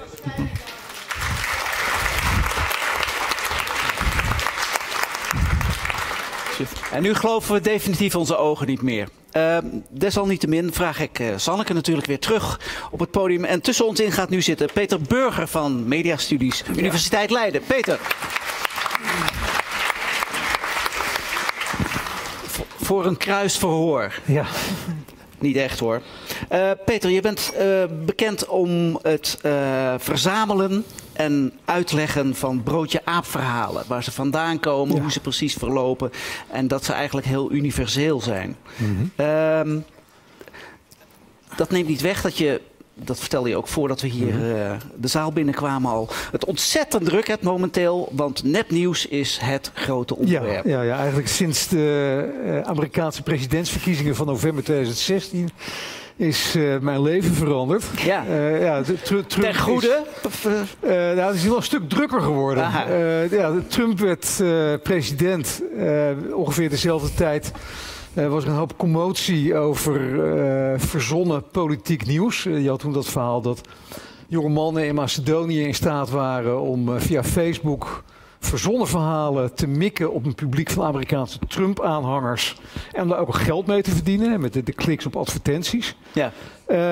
Ja, dat is uit de hand gelopen. Er worden nu in allerlei landen om ons heen uh, wetten gemaakt tegen nepnieuws. Er is een Europese commissie tegen nepnieuws. Uh, wij zijn zelf gaan samenwerken met Facebook tegen nepnieuws. En nou ja, hier zit ik weer op een avond over nepnieuws onder andere. um, behalve dat het onverwacht is, is het, is het ook, laten we zeggen, nog in proportie. Um, is het niet een enorme hype geworden? Het is in ieder geval ook een hype. Ja. ja. Er is. Uh, uh, de, de, student bij ons heeft onderzoek gedaan naar uh, het woord nepnieuws in Nederlandse media. Dat zie je dan inderdaad als een raket omhoog gaan bij die verkiezingen van Trump. Ja. Um, en als je dan gaat kijken, waar gaat al dat nieuws dan over? Dat is vooral heel erg veel gepraat over nepnieuws en heel weinig hard nieuws over wat het nou eigenlijk is, eh, wie het maakt, eh, waar het vandaan komt en, en ook wat voor effect het heeft. Ja, in die zin is het bijna ook weer een soort nepnieuws, zou je kunnen zeggen. Ja, Een- het is, ja. Een verhaal dat we misschien te makkelijk geloven. Eh, ja, vaak wel. Ja, dat, leidt, dat leidt dan tot die eh, waarschuwingen als dat eh, de Russen in feite al in Nederland zitten, genesteld in ons nieuws. Ja. En de roep om daar maatregelen tegen te nemen. Ja, niettemin, een van de dingen die jij geregeld vertelt in, in diverse media is... nepnieuws is van alle tijden, is, is niet iets van nu. Ja. Ehm, hoe ver gaat dat terug? Eh, nou, in ieder geval ver. Ehm, ja, je hebt eh, eh, al in de, in de Romeinse tijd werden allerlei daden gerechtvaardigd met verzonnen nieuws, verzonnen heldendaden, verzonnen geschiedenissen. Ehm, ik heb zelf ooit middeleeuwse literatuur gestudeerd. Um, hield onder andere bezig met middeleeuwse dierenencyclopedieën. Nou, daar stonden ook allemaal dingen in die echt niet kloppen over, over zeemeerminnen en draken en eenhoorns. Eh, dus het is altijd, als je, als je teruggaat, eh, kijkt naar, naar de geschiedenis van iedere oorlog. eh, ook in de Eerste Wereldoorlog eh, was er al van allebei de kanten eh, een enorme propaganda. Inclusief gruwelverhalen over bijvoorbeeld eh, de Duitsers die zulke ongelooflijke barbaren waren. Dat ze hun vijanden letterlijk kruisigden. Ja. En dat ze baby's aan eh bajonetten regen. Eh, dat soort verhalen. En die zijn er nog steeds. Ja, Ehm, e- een van de dingen die je laat zien, in je, ook in je onderzoek, is dat eh, eigenlijk de, de thema's of de, de, de, de verhalen, eh, dat niet alleen het, het nepnieuws van alle tijden is, maar dat de verhalen ook eigenlijk vergelijkbaar zijn. Er is een soort thematiek die alsmaar terugkomt. Eh, Nou ja, de, de, de aan het spit geregen baby's, et cetera. Bijvoorbeeld, ja. Ja. ja. Eh, Dat, dat is natuurlijk opmerkelijk. Is dat omdat we dat toch op een of andere manier meenemen in de geschiedenis? Is dat iets wat in ons hoofd lekker ligt? Waar komt dat vandaan? Nou ja, ja ik, ik denk dat het vrij simpel is. Het gaat vaak over dingen waar mensen het, bangst voor zijn. En hoewel die angsten kunnen veranderen in de tijd, zijn er toch altijd dingen. Bijvoorbeeld eh, de angst dat eh, iemand je kinderen iets aandoet. Eh, de, angst voor eh, verschrikkelijke epidemieën. Eh, ook nu de medische wetenschap een stuk verder is, blijft die bestaan. Ja. Eh, de angst voor vreemden eh, in het algemeen. Mhm. Ehm, angst voor vreemden. Ik, ik moet meteen denken, je hebt zo'n volgens mij bekend voorbeeld van de, de, de kruisjes naast, het, naast de deur. Waar ja, ja, vreemdelingen ja, tekens aan elkaar zouden geven over wat zich binnen over de te halen is. dat- ja, dat de inbreker. rond. afgelopen weken onder andere in Lopik. En ik geloof ook dat er andere plaatsen in Nederland zijn waar ook de politie tegen u zegt... eh, als u geheime tekentjes of raadselachtige tekentjes op uw eh, deur of naast uw deur ziet staan... dan moet u de politie bellen en die tekens verwijderen. Want dat is van inbrekers en die zijn er dan aan elkaar door wat er precies te halen valt. Dus zo'n rechthoek, dat betekent deze mensen hebben een breedbeeldtelevisie... Eh, van die karteltjes, dat betekent hier hebben ze een hele enge waakhond met, met enorme tanden. Eh, nou ja, wat mij fascineert, dat is, dat is een verhaal dat is al eh, echt eeuwen oud. Eh, dat werd in de 17e eeuw al verteld over bendes van brandstichters. Ja, ja. Ehm, en dat gaat nog steeds rond. En het wordt dus ook door autoriteiten, hè, dus bijvoorbeeld door wijkagenten verspreid. Ja. En dat... Oh, hier heb je het het, is- eh, hier heb je het, eh, het woordenboek, ja, zeg ja, maar. Dat is, dat is, dat is de uitleg van de code. Ja. Maar dat is, dat is, je zegt nu is het in Wijk bij Duurstede, of waar was het? Loop ik. Loop ik, bijna goed. Eh, het zou zo Wijk bij Duurstede. Mhm. kunnen zijn. Maar op een of andere manier blijft dat ook maar rondgaan. Ja, en en dat- jij zegt, bijvoorbeeld jij zegt op internet heel vaak... eh, dames en heren, dit is echt een oud broodje aap verhaal. Klopt niet, hier en daarom. Ja. Ehm, en ik zou, dat vind ik altijd wel leuk aan de dingen die je op Twitter zegt... eh, dat zou het eindigt met, rechtzetten. ik Ja. zou het recht zetten. ja. Ja. ja, dat doen ze bijna nooit overigens. Oké, maar het is onuitroeibaar. Ja, ja, en dat, dat komt bijvoorbeeld om even te blijven bij eh, dat verhaal over die inbrekerstekens. Dat is, vind ik wel een aardig voorbeeld, omdat dat dus echt door autoriteiten, eh, door politieagenten wordt verbreid. Ja. Eh, en als ik die daarop aanspreek, dan reageren ze eigenlijk ja, net als gewone mensen. Want het het zijn ook gewone mensen. Ja. En dan zeggen ze vaak, ja, eh, nou goed, eh, ik kan me voorstellen, je- je zult hier wel onderzoek naar hebben gedaan, dus je zult er gelijk hebben. Maar het is wel een hele goede waarschuwing. Eh, dus het, ja, een gewaarschuwd mens stelt voor twee, redeneren ze dan. En ja, het kan nooit kwaad om goed naar je huis te kijken of er geen schroefjes los zitten, raampjes openstaan. ehm, Ja. ja, om dat in de gaten te houden. Ja. Dus de, de, de redenering is dan, dit verhaal, deze waarschuwing, oké, dat is misschien niet waar. Maar in zijn algemeenheid is het een hele goede boodschap. Dat, dat politieke eh, nepnieuws, Ja. hè, waar we net mee begonnen ook. Ehm, op een of andere manier heeft dat misschien niet de potentie van over 200 jaar nog. eh, Maar Mhm. het, het, het, resoneert, het, geeft ook een soort gevoel van... eh, dat moet eigenlijk wel waar zijn. Hè? Waar Keulemans eigenlijk ook al mee begon. Van, Ja. Het klinkt zo logisch. Ja. Daar moet toch wel Ja, iets in ja, en, zitten. en ook, ook dan, eh, ja, dan zie je af en toe dingen, eh, ja, dan lijkt het bijna op die virtual reality effecten. Bijvoorbeeld een van de allerlaatste dingen ehm, waar ik eh, iemand op heb aangesproken op Twitter, dat is een foto van soldaten. En je ziet een soldaat die heeft een, een soort, soort kootje onder zijn arm.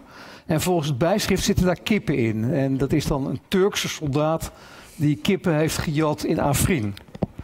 En als je alleen maar naar die foto kijkt, dan zie je, ja, dat zijn helemaal geen kippen, dat zijn duiven. Oké, En als, je dan verder, en als je dan verder gaat zoeken, dan blijkt, nou, het is geen Turkse soldaat, het is niet in Afrin. Eh, het is eh, meer dan een jaar geleden bij Mosul. Eh, het is een Irakese soldaat. En die duiven, dat zijn duiven die op een of andere manier geluk brengen. Hè, die ervoor zorgen dat de kogels deze eenheid niet zullen raken. Maar in ieder geval, het is, als, je, als, je puur, als je kijkt, dan zie je, het zijn geen kippen. Maar dat zien mensen dus kennelijk niet. Toch was er een politicus die dat op Twitter zette met het bijschrift, dit zijn Turkse soldaten die kippen roven. Ja. Waarom zouden mensen dat doen? Ehm, ja, het zou makkelijk zijn, eh, als ik nou wil zeggen, omdat ze echt denken dat het waar is. Eh, maar zo, zo werkt het denk ik niet. Ik heb zelf onderzoek gedaan naar de redenen die mensen opgeven om, om verhalen, waarschuwende verhalen aan elkaar door te geven, bijvoorbeeld via Facebook. Ehm, en wat ze dan heel vaak zeggen, dat is ja, ik weet eigenlijk ook niet of het waar is. eh, maar ik geef het maar door voor de zekerheid. Eigenlijk net zoals die politieagent zegt, ja, oké, misschien is die waarschuwing tegen die inbrekerstekens niet waar. Maar het is wel heel goed om goed op je huis te letten. Ja. Misschien bestaat deze bende niet. Eh, misschien is deze ene misdaad van deze ene asielzoeker niet gebeurd. Maar in het algemeen kun je ze niet vertrouwen. Is dat een beetje het mechaniek dat überhaupt onder ook broodje aap-achtige verhalen zit? Dat- dat Eh, volgens mij heel vaak wel, ja. Dus Ja. een soort algemene waarschuwing. Ja, het, het, zijn, het zijn goede verhalen. Ze blijven haken in je geheugen. Nou, tegenwoordig worden ze ook verspreid met eh, vaak indrukwekkend gruwelijke foto's erbij. Ehm, en het gaat die mensen echt om. Bijvoorbeeld, ik heb een keer een, eh, eh, een PVV-senator erop aangesproken dat hij foto's deelde die volgens hem leden lieten zien van de Antifa-beweging. eh, met de boodschap dat daar het echte geweld vandaan kwam. En ik kon aanwijzen, Dat, kijk, eh, deze links, foto- links extremistisch. ja, links, links extremistisch. Ja, oké. En ik kon aanwijzen, kijk, deze foto, dat is eh, Kiev in 2014. Dat heeft helemaal niets te maken met die beweging. En er was ook nog een foto, daar zag je echt iemand met een zwart jack met het logo van de Antifa-beweging erop. Eh, daar kon ik van aantonen dat dat echt een gefotoshopte foto was. Het was genomen in 2009 bij rellen in Athene. Iemand Ja. met een zwart jack. En op dat zwarte jack had iemand gewoon op de foto dat logo geplakt. Ja, en de reactie van die politicus was... eh, nou ja, het maakt niet uit, want in het algemeen is dit wel de waarheid. En daar lopen jullie voor weg, eh, goed mensen. Ja. Ja. En dat zou jij dan ook weer rechtzetten? Eh, ja, mijn boodschap was, ik zou het recht hebben, maar dat deed je dus niet. Ja, ja, ja. Ehm, het omgekeerde kan natuurlijk ook. Dat eh, het verhaal, bedoel, jij zegt nu het is als waarschuwing bedoeld en Ja. het kan geen kwaad. Eh, het, is best een goed idee om huizen met een breedbeeld tv te markeren. Nou, dat weet ik niet. Nee? Vol- Volgens mij van wat er bekend is over de manier waarop inbrekers te werk gaan, is dat een stuk minder gecoördineerd, veel opportunistischer. Eh, ja, denk, er is bijvoorbeeld eens een keer een leuk experiment gedaan. Ehm, je hebt ook dat verhaal dat je niet op sociale media moet zetten waar je naartoe bent op vakantie. Of dat je überhaupt op vakantie bent. Want dat zien die inbrekers en dan komen ze inbreken. Ja. En, is nog een heel eh, werk, lijkt me. een- een- Een groep Ja. eh, eh, mensen in de opleiding van de politieacademie, die is een keer in tweeën gedeeld. En dan had het ene deel de opdracht, ga de straat op en ga huizen zoeken waar je zou kunnen inbreken. En het andere deel kreeg de opdracht, ga op sociale media zoeken naar plekken om in te breken. en die mensen die de straat op gingen, die hadden veel meer adressen gevonden. Ja, gewoon door rond te lopen en te kijken waar je ongezien naar binnen kon. Ja. En het was veel lastiger om adressen te vinden waarvan je echt puur op basis van de sociale media zeker wist eh, dat er wat te halen viel en dat er niemand thuis was. Ja. Ehm, in die zin ben jij wel een fan van de realiteit, van uh, dingen ja, die kloppen. Ik ja, ondertussen uh, zit ik hier een beetje met een uh, ongerust gevoel dat er achter me iemand zit. Ja, reken maar. die daar al lastige vragen over kan stellen. He, want ja, ik noem mijzelf factchecker. ja, wat zijn dat feiten? Ja, Sanneke, ja. is daar iets over te zeggen? Factchecken. Het is heel, heel modern en veel, veel gedaan. Um, dat suggereert dat er een werkelijkheid is die je kunt achterhalen. Of is het niet in die zin? Um, ja, nou ja, er zijn er allemaal dingen natuurlijk over fact-checken te zeggen. Ja. Ik denk misschien wel de belangrijkste is van, werkt het? Um, mm. um, en daarbij moet je natuurlijk kijken van wat is de motivatie van mensen om nepnieuws uh, aan te nemen, zou ik ja. maar zeggen. Dus bijvoorbeeld inderdaad dat voorbeeld van broodje aapverhaal, dat mensen dan zeggen, ja, het is misschien wel niet zo, maar mm-hmm. voor de zekerheid ja. dat er eigenlijk veel meer een soort van angstige stemming is. Ja. Uh, um, die motiveert dat mensen dan uh, um, zoiets ja. aannemen. En dat je misschien ook wel een soort self-fulfilling prophecy krijgt. Mm-hmm. Van dat je hoe angstiger je bent, hoe meer je ook geneigd bent om allerlei dingen verdacht te vinden. En uh, dat het een soort zelfversterkend proces is. Um, en factcheck, ik vraag me af of het de mensen bereikt die. Ik, ik bedoel, ik vind het altijd heel erg leuk om dat soort dingen te lezen. Maar uh, ik vraag me af of het het publiek bereikt wat mm-hmm. je ermee wil bereiken. Nou, dat gaat um, wel steeds beter. Oké. Okay. Uh, oh, hoe doen jullie dat zelf? Ja. Want je hebt een groep studenten die ook zich die ja, echt op richten. Uh, we hebben iets, het project heet Nieuwscheckers, nieuwscheckers.nl. Ja. Dat, dat doen we al een jaar of tien met studenten. Die zoeken dan berichten op die ze niet vertrouwen. En dan gaan ze ook echt uitzoeken of het wel of niet klopt. En dan maken ze verslag van. Um, en een van de problemen die factcheckers in het algemeen altijd al hadden, dat was dat die verslagen het publiek niet bereikten dat het valse bericht had gelezen. Ja. Uh, omdat het er ja, lang nadien achteraan kwam en dat, je ook ja. niet wist wie je moest bereiken. Nou, dat gaat in zekere zin beter. Uh, bijvoorbeeld uh, Google heeft het mogelijk gemaakt dat factchecks, die van ons, maar ook die van anderen, bovenaan komen in de zoekresultaten. He, dus stel dat wij een factcheck hebben over die inbrekerstekens. Je tikt in inbrekerstekens, dan is de kans groot dat ons verhaal bovenaan staat. Ja. Hoe heb je dus dat, dat geregeld? Je, uh, dat is gewoon een kwestie van uh, de code van de website aanpassen. En uh, Google die heeft daar iets moois voor gemaakt. Ja, ja. En, en, werkt met factcheckers samen. In, in Nederland, maar ook in de Verenigde Staten en andere landen. Serieus? Ja. Oké. Okay. Hey, dus op die manier maak je het mogelijk dat mensen eerst ja, de betere informatie vinden en, en dan de slechtere informatie. Ja. Facebook heeft iets dergelijks gedaan, daar zijn ze van teruggekomen. Um, Facebook heeft vorig jaar een systeem bedacht waarbij berichten gelabeld werden. Um, en dan kreeg je te zien, uh, dit bericht dat wordt betwist door nou ja, factcheckers van in Nederland dan uh, nu.nl en de Universiteit Leiden. Uh, daar zijn ze plotseling aan het einde van vorig jaar alweer mee gestopt. Um, en ik geloof dat de reden was dat onderzoek, het onderzoek bleek dat het voor sommige mensen eerder een aanbeveling was dan een waarschuwing. Aha. He, dat als, als, als, als er inderdaad partijen zijn die zeggen dit is niet te vertrouwen, ja. dan is dat misschien juist wel de waarheid die ze verborgen proberen te houden voor je. Ja, ja. Ja, okay, nou ja, als je in complotten gelooft, dan is dat natuurlijk, ligt dat voor de hand. ja. ja. Ja. Um, dit, dit is een poging om, om iets te doen aan, aan nepberichten.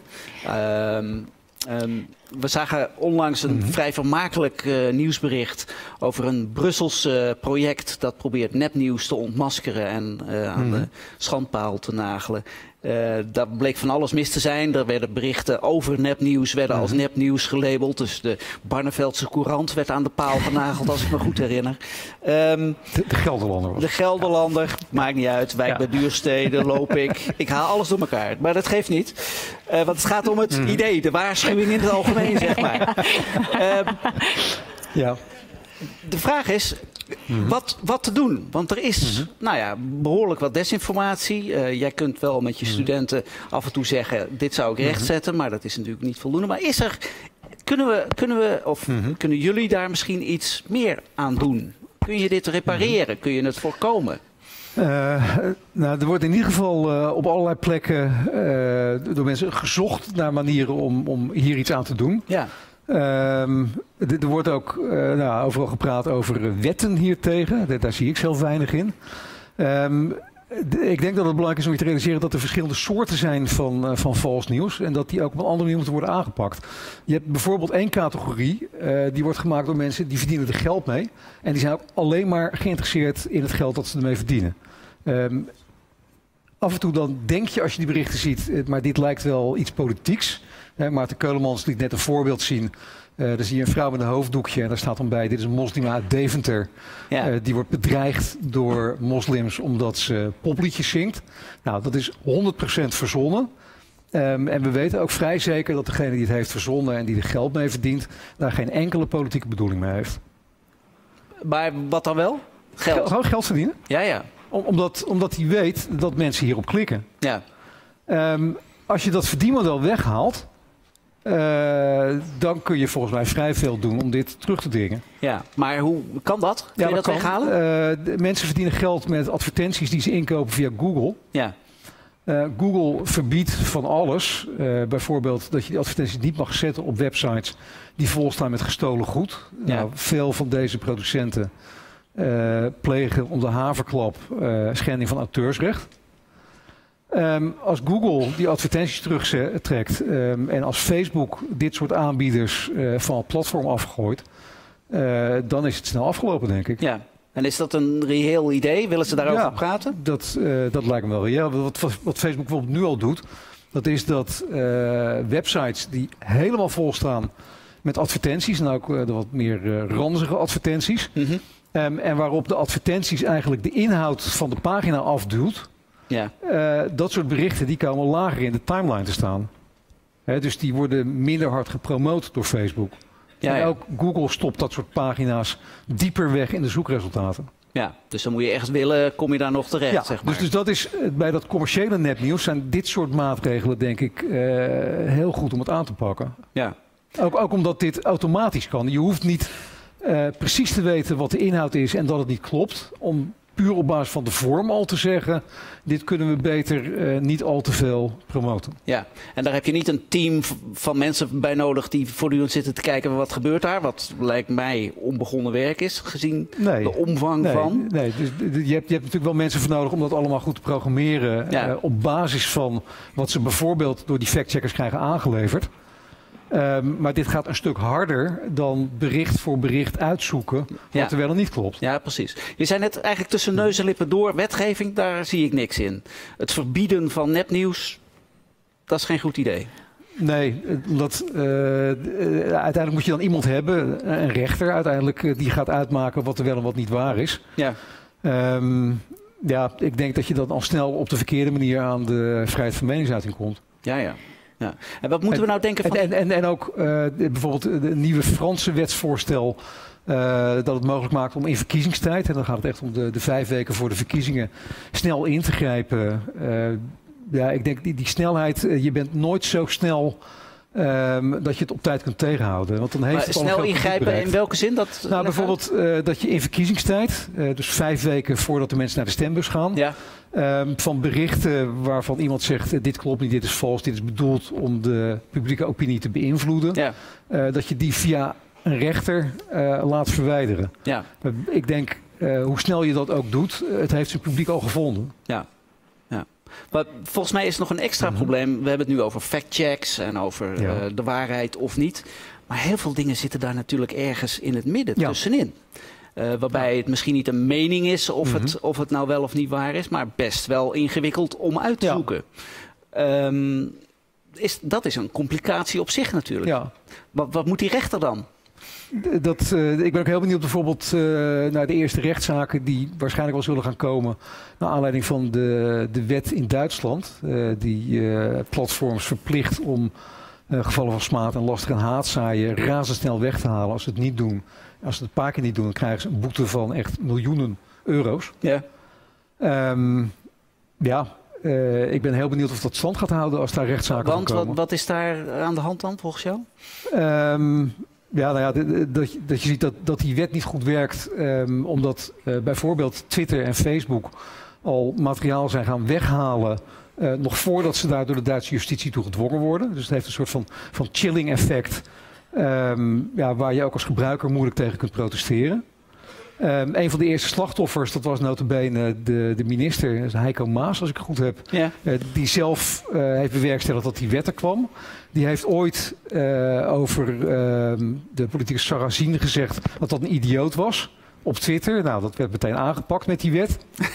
Met zijn Eh, eigen wet. Ja, met zijn eigen wet. Ja. Ehm, ik vraag me heel erg af of, of dat nou de, de situatie beter gaat maken. En bovendien, eh, ja, de mensen van wie iets wordt verboden, die schreven moord en brand. Ehm, ja, en die krijgen dan toch ook weer een aandacht. eh, Ja. waarvan, waarvan niet de bedoeling was dat ze die kregen. Maar, maar Ja. Pe- ja?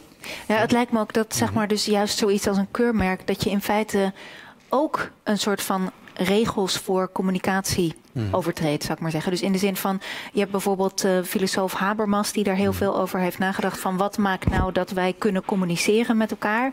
daar, daar, dat veronderstelt al van alles. Dat we oprecht zijn, dat we in principe streven, dat we in principe correcte uitspraken doen, dat we die kunnen onderbouwen. En als al die dingen, als je daar niet aan meedoet, dan is op een gegeven moment communicatie niet meer mogelijk. Net als dat als iedereen zou liegen, ja, wat voor zin heeft het dan nog om met elkaar Ja. te praten, zeg maar. Maar het probleem, en dus het probleem is alleen als je zo'n keurmerk instelt, dat je, of dus zo'n soort wet, dat je in feite hetzelfde probleem hebt, omdat je dan gewoon een krit- kri- kritische stemmen, als het ware, zijn, zijn van, de- van, van het grootste belang voor, eh, voor een debat. En als je van tevoren van bovenaf zegt, jij mag niet meer meedoen. Ik denk dat er leuke plaatjes wel van zo. Ja, ik denk het ook, ja. Heel lachen. I'm back from Dat sowieso.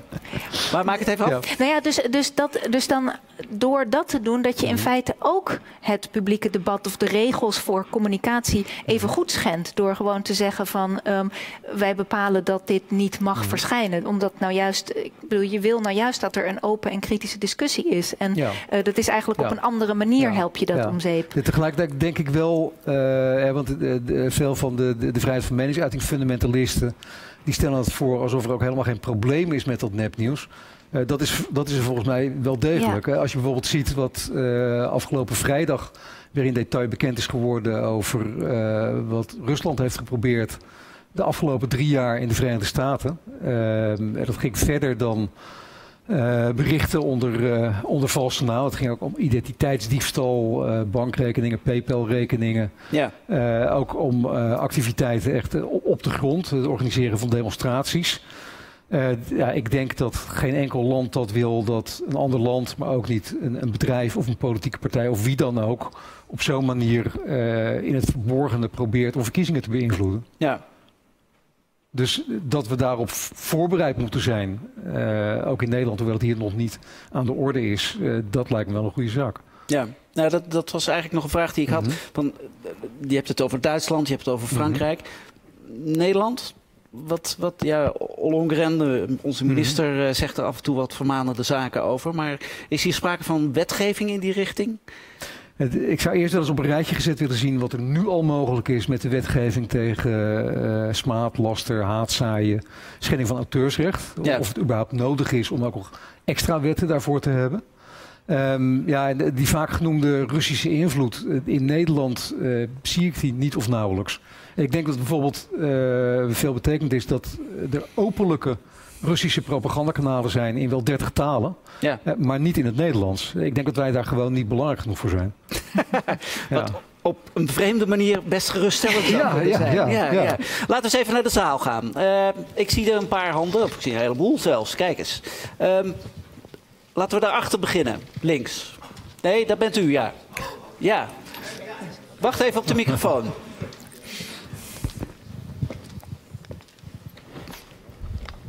Van tevoren waar ik ook wijs op het prachtige broodje aap. De Urker vistaart in, de, in het nieuws van de zomer. Maar dit terzijde. Ehm, eh, eh, een vraag voor meneer Burger. Ik ben eh, wetenschapsjournalist, ook voor de Volkshand trouwens. Ehm, eh, de te- teneur in de discussie de laatste tijd, voor zover ik dat meekreeg, is dat het gewoon erger is nu vanwege Google en zo. Mensen zitten in hun bubbel enzovoort enzovoort. Nepnieuws wordt een probleem. Is dat niet zeer de vraag? Vergeleken met bijvoorbeeld de middeleeuwen, toen je kruistochten had, ook allemaal op basis van horen zeggen, dat soort dingen, bla bla bla. Eh, want het verschil met nu en bijvoorbeeld nog voor het internet had je het, uh, de hele grote rel rond Oude Pekela, dat soort dingen. Dat was in de Mhm. jaren tachtig was dat heel erg in. En u vertelde het zelf net een beetje, van eh, Google is zo edelmoedig om dat uh, factcheck naar boven te halen. Dat verbaast me een beetje. Maar je hebt nu een soort centrale kanalen, terwijl het vroeger allemaal oncontroleerbaar was. Dus misschien was het vroeger wel erger. Is dat de vraag? Ja. Ja, en, en, de, en de tijdgeest, dus de, psy, de psy, psychologische... Ja, ja dit is lastig. Er zijn geen nulmetingen en eh, het gaat om heel lastig uh, te vergelijken data. Um, ja, je kunt zeggen het was in de middeleeuwen erger, want dan had je een heel groot ongeletterd publiek uh, dat je uh, daardoor veel meer wijs kon maken dan nu. het fantastische van deze tijd dat is dat, dat iedereen, niet alleen uh, journalisten en mensen van inlichtingendiensten een, een hoeveelheid bronnen tot zijn beschikking heeft die we nog nooit gehad hebben. Um, ja, tegelijkertijd denk ik dat bepaalde fenomenen, bijvoorbeeld die commerciële vorm van nepnieuws, ja, die worden echt mogelijk gemaakt door wat Facebook en Google aanbieden. He, dus er zijn mensen die misbruik maken van het systeem, of misschien gebruik maken van het systeem. Ja. Uh, om hun berichten te verspreiden en om daar geld mee te verdienen. Of om hun berichten te verspreiden en daar ja, proberen politieke invloed mee uit te oefenen. Ja. Uh, bijvoorbeeld wat echt nieuw is. Um, vroeger, als je propaganda wilde bedrijven, dan kon je bijvoorbeeld pamfletten uit een vliegtuig gooien. Je had geen idee waar ze terecht kwamen. Je kon een radiozender richten op een bepaald gebied. Je wist niet wie er ging luisteren. Tegenwoordig is het mogelijk om bijvoorbeeld door advertenties in te kopen bij Facebook. Um, in bepaalde Amerikaanse steden, bijvoorbeeld Ferguson, waar die rellen zijn geweest, berichten te mikken op mensen die belangstelling hebben voor de zwarte burgerrechtenbeweging. Omdat ze bijvoorbeeld pagina's over Martin Luther King hebben geliked. Ja, dat is ongekend. Dat dus dat het kan. is veel gerichter in die ja, zin. Ja, ja. Het, is, het is geen schot hagel meer. Het is heel precies mikken tegenwoordig. Ja. En dat... Dat, dat is nieuw. Ja. Oké. Okay. Wie? Ja. Ja, ja. Um, hoi, um, ik heb zelf het idee dat uh, tegenwoordig nepnieuws uh, veel minder wordt afgestraft. Um, bijvoorbeeld meneer Trump die zegt constant dingen die gewoon niet gebeurd zijn, niet waar zijn, maar hij zit er nog steeds. Mm -hmm. Heeft u het idee dat ja, dat tegenwoordig dus makkelijker kan? Ermee wegkomen. Ja, ik, weet niet. Ik denk als je de, uh, ja, als je, als je de macht hebt, uh, dan kun je met heel erg veel wegkomen. Niet alleen maar met het vertellen van leugens. Uh, in die zin is het ook geruststellend dat bijvoorbeeld Halbe Zijlstra uiteindelijk moest aftreden. Mm -hmm. um, ja, of, of dat nu erger is geworden, um, ik, ik weet het niet. Ik kan moeilijk, moeilijk vergelijken. Ja. Ja, ik ook niet. Dus ja, ja, sorry. Wie nog? Uh, hier vooraan nog.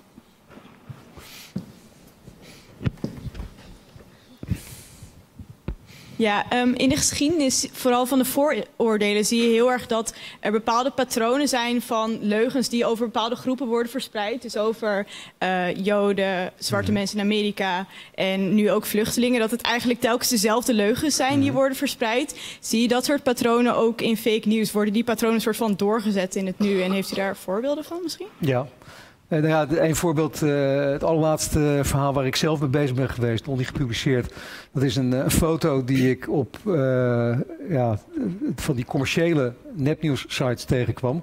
Dan zie je een, een, vrouw op straat liggen, ergens in het Midden-Oosten, met een, een, touw om haar enkels. Het verhaal dat erbij staat, dat is, dit is in Saoedi-Arabië en die vrouw die had het eten niet op tijd klaar. En dat is wat er dan een beetje het gebeurt. eten niet op tijd klaar, dat ja, zei je toch? Ja, en was, en het was, Ik had even moeite om te begrijpen ja, wat je zei. En ja. het, en het was nog koud ook. Ja.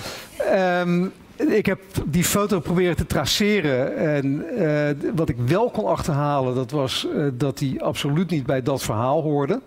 Uh, het, het, is iets waarschijnlijk uit de burgeroorlog in Syrië. Ik heb er ook nog een journalist over geraadpleegd die anders dan ik wel overweg kwam met Arabisch.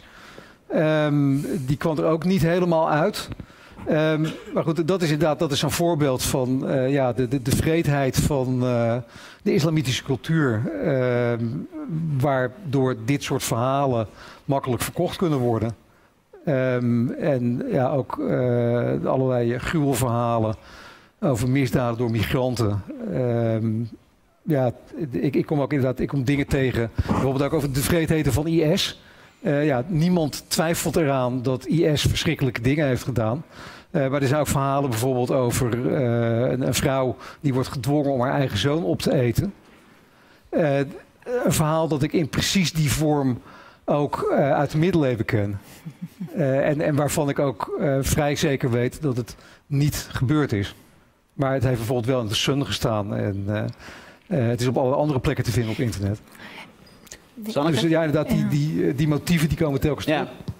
Ja, ik zat me nog af te vragen of het feit dat er meerdere bronnen zijn, of dat ook maakt dat we misschien minder geneigd zijn om de autoriteit. Zeg maar, vroeger had je gewoon het NOS-journaal en dat, Mhm. was dan, dat gaf ons dan de feiten. Ja. Ehm, en dat het misschien ook juist die veelvoud aan bronnen, misschien ook eerder dat mensen denken het is ook maar een mening. Of het Mhm. voedingsbureau, zeg maar het Nederlands voedingsbureau bijvoorbeeld, die dan met die schijf van vijf en van Ja. die adviezen komt. Dat je denkt, ja, maar ik heb, kijk al die foodblogs en Ja. die eh, zeggen iets heel anders. Ehm, dus dat er misschien autoriteit ook Ja, minder... is, er, zijn, er zijn meer alternatieven en die zijn makkelijker te vinden. Ja. Eh, aan de andere kant, eh, ja, laten we toch vooral niet denken dat eh, niemand, niemand meer vertrouwt. Dat is, bijvoorbeeld, er is een groot verschil tussen het vertrouwen in het nieuws in de Verenigde Staten en in Nederland. Je- je kunt aan de ene kant als pessimist zeggen, ehm, ik geloof dat het vertrouwen in het nieuws de laatste enquête iets was van nou, net boven de 50% van mensen die zeggen over het algemeen is het nieuws wel te vertrouwen. Eh, dat is niet veel. Aan de andere kant, wij zitten echt in de top van vertrouwen. In de Verenigde Staten is dat iets van 30 procent. Ehm, eh, ik denk dat daardoor eh, in de Verenigde Staten het, het bereik van die verzonnen berichten groter is. Ja, En, dat, ja, je, ja. dat je daar meer mee kunt. Wat natuurlijk ook scheelt, dat is in de Verenigde Staten hebben ze twee politieke partijen. De- wij hebben de 81. Eh, er zitten de 14 in de Tweede Kamer. Er zitten de vier in de coalitie. Eh, dat is een stuk ingewikkelder mikken als je hier wil proberen om één bepaalde groep te, in- te beïnvloeden met je verzonnen berichten. Ja, dat, eh, hoe groter de blokken, hoe, Ja, hoe ja. effectiever dat wordt Ja. eigenlijk. Ja, ja, ja. Oké, we gaan het hierbij laten. Dankjewel, Peter Burger. Dankjewel.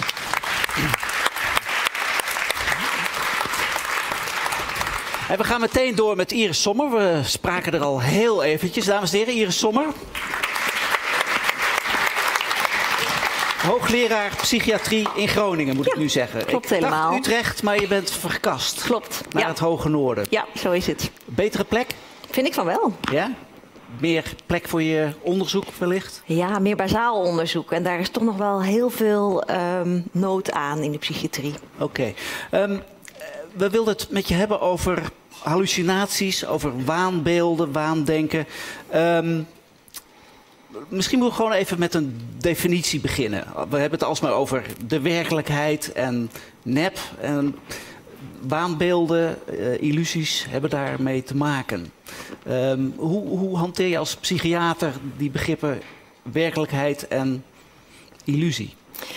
Ehm, dat is niet per se mijn domein. Dus ik voel me daar niet per se eh, ehm, eh, professional in. Ik denk dat we dan eerder op jouw terrein komen. Ik heb het wel met mensen over wat voor hen echt is en, en voor anderen niet. Dus met name over het verschil in ervaren werkelijkheid. Aha.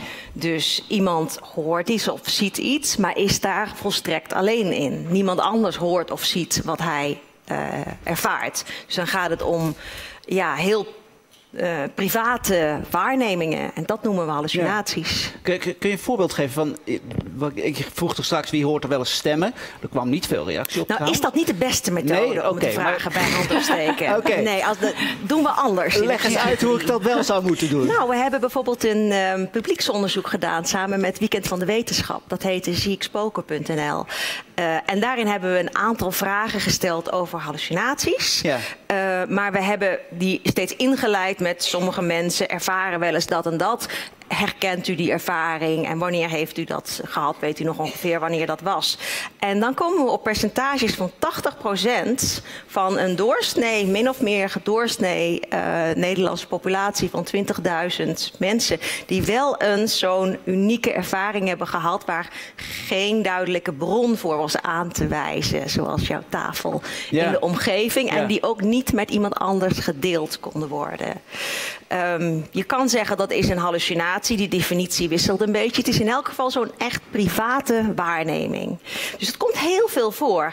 Ehm, dan kan je zeggen ooit één keer in je leven. Ja, dat was misschien nadat je een keer te veel gedronken had. Of nadat je een paar nachten niet geslapen had. Maar als we keken naar de afgelopen maand. Dan was het nog steeds meer dan de helft van de mensen. En de afgelopen week, dan zaten we op een kwart. Dus het komt gewoon heel veel voor dat wij dingen waarnemen die we niet met de buitenwereld kunnen rijmen en die ook niet met andere mensen gedeeld worden. Ja. Dus ik denk dat hallucinaties gewoon past bij menselijk waarnemen. Dat dat gewoon een, een, een soort eh errormarge is van onze waarneming. Ja, want eh, de- de- eh, die, die vraag eh, die je stelde in dat, in dat project, eh, gaf dat ook, eh, moesten mensen ook vertellen wat, wat er dan gebeurd was? Ja, Wat, voor dingen kwam je dan tegen? Ehm, we hebben ook een open vraag eh, gesteld. En daar zaten zowel hele bizarre ervaringen in. waarvan je ook al meteen weet. oh ja, dit moet een hallucinatie zijn, want dat kan gewoon niet. Bijvoorbeeld een hoofd van twee meter groot. Oké, dat. eh, maar ook hele alledaagse dingen. Ehm, ik hoorde mijn mobiel afgaan, maar ik bleek helemaal geen oproep gehad te hebben. Of ik hoorde de radio aanstaan toen ik onder de douche stond, maar er, er was helemaal geen radio. Dus hele alledaagse dingen waarvan je ook echt moet checken of het niet waar is. Dus gewoon fact-checking. Ja. Maar ook dingen die zo bizar zijn waarvan je weet, ja, dit hoef je niet te checken. Dat kan gewoon Eigenlijk niet. weet je wel dat het niet waar Ja, is en, en toch ervaar je het. Ja. Maar zou je dan niet zeggen dat dat toch wel verschillende categorieën zijn, zou ik maar zeggen? Ik bedoel, als ik zeg maar onder de, als ik onder de douche sta en, ik, en er zijn allemaal geluiden om me heen en ik ben gespitst op straks krijg ik misschien een belangrijk telefoontje en dan zie ik, oh, het was, het was toch niet zo. Is toch volgens mij wel echt heel anders dan een hallucinatie, zou ik maar zeggen, waarin gewoon überhaupt het concept, ik ga het even checken en het blijkt niet zo te zijn, volgens mij niet eens altijd van toepassing is, zou ik maar zeggen. Dus dat gewoon überhaupt het een vergissing. Dat klinkt eerder als dat je dan je, je hebt je vergist, zou ik maar zeggen. Ik dacht dat ik de telefoon hoorde en het was niet zo. Dat Ja. lijkt me toch iets anders dan als je gewoon het verschil tussen werkelijkheid en fantasie niet meer kan maken, zeg maar. Dat checken, zeg maar, checken veronderstelt al, oh, ik heb me vergist, zeg maar. En dat is. Ja. Het is een glijdende schaal. Met alle, nu noem ik twee uitersten, maar alle tussenliggende vormen zie je ook. Dus het zijn niet twee duidelijke categorieën, maar je kunt hallucinaties langs verschillende maten En bizarriteit is daar eentje van. Een andere is eh, hoe vaak en hoe lang het is. In hoeverre mensen nog geneigd zijn tot checken, dus er nog aan twijfelen, is een belangrijke maat. En ook in hoeverre het eh, beangstigend is. Ja. Eh, we hadden het net over angst aan het begin van dit programma. En angst doet veel met je. En angst maakt bijvoorbeeld dat je niet meer gaat checken. Dat je niet meer goed ehm, je kunt realiseren dat het niet klopt. We zagen net met die virtual reality iemand met hoogtevrees.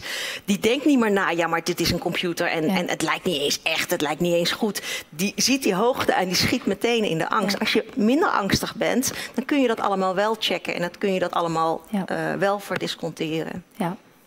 Angst staat het realiteitsbesef in de weg, zou je kunnen zeggen. Precies, en dat is ook meteen een stap in de behandeling. Zorg dat die angst eh, wat verlaagt en dat mensen weer kunnen checken. Dus bijvoorbeeld als je steeds hele enge schimmen eh, in je slaapkamer ziet en Ja. je bent daar vreselijk bang voor, ja, dan helpt even niets meer. Als je iets minder angstig wordt, maak even een foto met je mobieltje en als je ziet dat er niks op staat, ja, dan is het er misschien toch niet. Dan helpt dat misschien al. Ja, ja. Ehm, werk je, je werkt met patiënten of cliënten, moet ik misschien zeggen? Nou, ik werk zowel met patiënten die er echt veel last van hebben. Ja. En dat is ook een beetje mijn missie om hen, hoe kan ik hen van die hallucinaties afhelpen. Maar we doen ook veel onderzoek met gezonde mensen om te kijken. Het is namelijk heel makkelijk om hallucinaties op te wekken. En als je snapt hoe je zo kan meer opwekken, ja. dan kan je ook weten misschien hoe je er vanaf kan komen. Ja, ja. Maar opwekken is nog steeds wel veel makkelijker.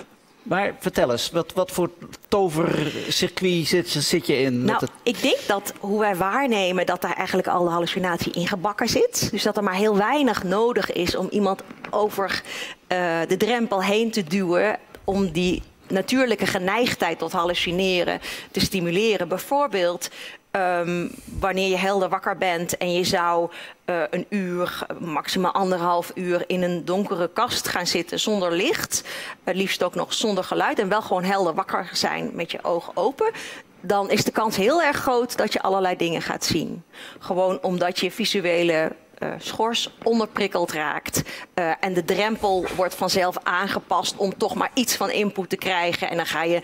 Meestal begint het met een soort sepia-bruinachtige vlekken. En later gaan die ook bewegen. En voor je het weet zie je van alles in die donkere kast. Gewoon ja, ja. puur omdat je hersenen willen input. En als die input niet komt, nou dan doen we de drempel nog maar wat lager. Waar blijft die input nog? En uiteindelijk komt die wel, maar puur uit hersenactiviteit alleen. Ja, ja, dat is eigenlijk het brein zelf is dan bezig ja, om iets... Ja, we hadden het net over jouw modellen. Um, ik denk dat uh, uh, waarneming is een combinatie van enerzijds de zintuigen, anderzijds de hersenen. Samen moeten zij het werk doen en zij moeten ook voor elkaar waarnemen. Nou, um, wanneer de zintuigen het een beetje laten afweten, bijvoorbeeld omdat het heel erg donker is, of misschien omdat je blind bent, of misschien omdat er gewoon heel weinig prikkels komen, dan moeten de hersenen extra veel aanvullen. En dat kan zo ver gaan dat je waarneemt puur met je hersenen. Bijvoorbeeld als je droomt, dan is er eigenlijk helemaal geen input vanuit de zintuigen. Maar je loopt door de woestijn, je zwemt in de zee, je, je maakt van alles mee. Je ligt natuurlijk gewoon in je bed. Maar dat zijn uh, belevingen puur vanuit hersenactiviteit, zonder input vanuit de zintuigen. Ja, ja, nou ja de, denk wel als je, als je zeg maar denkt in termen van dat het brein dat waarneemt, dat dat natuurlijk in feite kan je dat sowieso zeg maar niet zeggen. Dat is, zeg maar, Waarom soort, kan dat niet? Dat is een categoriefout, zeg maar, van het brein denkt niet, het brein voelt niet, het brein is een orgaan. En zoals we allerlei andere organen hebben. En om als orgaan te functioneren moet het überhaupt gewoon, is het afhankelijk van allemaal andere organen. Het, zeg maar, het, de categorie denken en voelen is zeg maar een persoonscategorie. En dit is een, heel vaak wordt dat soort van toegeschreven aan de hersenen zien of de hersenen vinden of Ja, voelen of maar- interpreteren. Maar dat is zeg maar, dat is niet, dat is niet wat die massa in ons hoofd, dat orgaan, doet. Dat is iets van zeg maar de, de persoonscategorie. Um, en als je kijkt inderdaad naar bijvoorbeeld naar dromen. Uit, ik bedoel, uiteraard spelen de hersenen natuurlijk een superbelangrijke rol in waarnemen en ook in dromen. En Ja, nou, in, dat hebben we net in die experimentjes gezien. al. Ja, Dat was maar- nog maar visueel. Precies, maar, nou ja, maar in hoeverre is dat, zeg maar, zijn het de hersenen die dat doen? Hè? Ik bedoel, het is sowieso ehm, waarnemen heeft eh, verondersteld al dat je überhaupt een levend wezen bent in, in die een bepaalde geschiedenis ook van interactie heeft, hè, die bepaalde dingen geleerd heeft. Je moet waarnemen leren. En als je dan bijvoorbeeld inderdaad droomt. ehm, dan heb je inderdaad allerlei beelden van die dus niet echt, zeg maar. Ik bedoel, het is niet dat er echt input is. Ehm, maar hoe komt het, zeg maar, of het, waar, dat is wel parasitair op dat je allerlei ervaringen vroeger gehad hebt, zou ik maar zeggen. Dus dat is met name een functie van de hersenen. Dat is juist de plek waar al die ervaringen opgeslagen worden en al of niet eh, herinnerd worden. Nou ja, ik, ik, ik denk, dus, zeg maar, het is een metafoor om te zeggen, ergens zit iets opgeslagen. Dat is een soort heel begrijpelijke metafoor voor als je denkt van, waar is iets? Dus je hebt een soort neiging om iets te willen lokaliseren en iets te soort van te denken, nou dat moet ergens zitten. Maar het is de vraag of dat echt een behulpzame manier is om daarnaar te kijken. Omdat je bijvoorbeeld, je zou ook kunnen kijken, zeg, ik, eh, ik kan bijvoorbeeld fietsen. Dat moeten jullie dan maar even van mij aannemen. Ik heb de vaardigheid dat ik kan fietsen. Ja. Waar zit die vaardigheid? Aha. Is dat überhaupt een zinvolle vraag om, dat, om die vraag te stellen? Dan krijg je de neiging van, waar zit dat? Nou ja, dat zal dan wel ergens in mijn hersenen zitten. Want ja, waar anders, zeg maar. Het- Maar ja, het, is het überhaupt een zinvolle vraag? Kan je dat lokaliseren? En... En bovendien, als je dan dus denkt, als je alleen maar focust op de hersenen, denk je, ja, maar ja, het is wel alsnog nodig dat ik gewoon, het is ook een soort motorische eh, vaardigheid, een soort know-how, een lichamelijk kunnen, zou ik maar zeggen. Nou ja, als je een herseninfarct krijgt op de juiste plek, dan kan je niet meer fietsen. Nee, maar ja, als je hart het niet meer doet, kan je ook niet meer fietsen. En als je spieren het niet meer doen, kan je ook niet meer fietsen. Eh, dus ja, nee, en ik wil niet zeggen dat de hersenen natuurlijk niet een centrale rol spelen, maar het is wel. Als je probeert iets te lokaliseren, of dat, de vraag, of dat nou een handige vraag is, ehm, is maar de vraag, zeg maar. Voor- voordat we helemaal in een psychologenfitty Ja. terechtkomen. Eh, even, even terug naar Iris. Ehm, we hadden het over patiënten. Ehm, hallucinaties kunnen buitengewoon lastig ontregelend zijn. Ja, absoluut. Hoeveel last Ja. hebben mensen die, die, die daar echt eh, serieus bij, bijvoorbeeld voor bij jou komen? Ja, ehm, ik zie denk ik het topje van de ijsberg. Ehm, ik behandel mensen die echt heel veel last hebben van hallucinaties. En voor hen eh, is het ontzettend zwaar. Dus het, het is echt, nou ja, we zagen net eh, een klein stukje van Alice in Wonderland toen Ja, we het binnenkwamen. begin, ja. Het kan echt zijn alsof je in een, in een akelige film eh, rondloopt. De mensen die echt de hele dag door nare dingen horen, nare dingen zien en daar voortdurend bang van zijn. En de- de- een Dus beetje dat- alsof je droomt, maar dan de hele dag door. Ja, ja. Mhm. we hebben ook gekeken om te kijken van over wat voor stukje heb ik het nou? Want dat is toch echt wel het topje van de ijsberg. Van de vele mensen die in het publieksonderzoek eh, hallucineerden, gaf ongeveer 15% aan om daar hinder eh, van te ervaren en daar angstig van te zijn. Dus ik denk dat we voor een groot gedeelte, misschien wel allemaal, af en toe hallucineren. Ja. Maar dat ongeveer 15% van de mensen die hallucineert echt eh, daar ook ongemak eh, en hinder bij heeft. En een klein gedeelte heel erg veel hinder. Mhm. Eh, we hebben het natuurlijk een beetje eigenlijk in abstracte zin ook over realiteit versus niet-realiteit, zou ik maar zeggen. Ehm, ik, ik neem aan dat, dat je met deze mensen probeert een realiteit terug te vinden. Precies, precies. Het, het is, we hadden het net over die virtual reality brillen. Die je, het is als je veel last hebt van hallucinaties, het is alsof je- zo'n VR-bril op hebt, maar hem niet af kan zetten. Ja. Ehm, En jij probeert hem uit te zetten. Nou, ik, ik probeer eerstens met mensen te bespreken dat ze zo'n bril op hebben. Dat het een andere realiteit is. is dat een moeilijk vaak gesprek? stap één. Ja, het gekke is dat je altijd uitgaat van je eigen realiteit en dat het ontzettend veel abstractievermogen kost om daarvan af te stappen. Om aan te nemen dat er ook een andere realiteit is dan je eigen. Om, om, met mezelf, eh, ik, heb, ik heb af en toe migraine. En Ehm, wat er dan altijd gebeurt, is dat ik aan één kant kringen ga zien en daarna zie ik aan, aan één kant niet meer. Ehm, en ik zit helaas veel eh, de tijd van mijn leven achter het beeldscherm. En ik ga altijd mijn beeldscherm poetsen als ik kringen zie. Terwijl ik weet dat ik migrainepatiënt ben en ik weet dat dat zo begint. Maar en je denkt toch dat die kringen- altijd weer, ik zie die kringen op mijn beeldscherm, dus ik ga mijn beeldscherm. En dan zit ik te poetsen en denk ik, ja hoor, het is weer zover. Maar dan vooral dat ik er weer instink. Ik ben een hallucinatieonderzoeker, come on. En toch, dat is wat zintuigen met je doen. Wat je ziet, wat je hoort, dat is gewoon zo. En Ja. het kost ongelooflijk veel abstractievermogen om eh, je eigen realiteit te relativeren. En om je te bedenken dat het weliswaar je zintuigelijke waarneming is, desalniettemin misschien niet je, de realiteit. In mijn geval niet dat beeldscherm. Ja, maar waarom zouden gezonde mensen dat dan niet ook doen? En wegredeneren. Het idee dat je, dat, dat was een van die categorieën waar we mee begonnen. Eh, alles is een illusie. Dat, dat kun je natuurlijk ook volhouden in dit verband. En Ja. ook mensen die de realiteit meemaken, die verzinnen ook maar wat. Maar een gedeelde illusie is alweer een heel ander verhaal. Ja, ja, dat delen is belangrijk. Dan. Ik denk het wel. Ja. Dat maakt ook dat je, eh, dat je kunt functioneren in een, in een gezelschap. Dat je eh, ja, kunt functioneren in de samenleving. Eh, dat je of in elk geval gedeelte van de realiteit deelt, of je realiseert dat jij een bepaald stuk van de realiteit niet met anderen deelt. Eén van beide.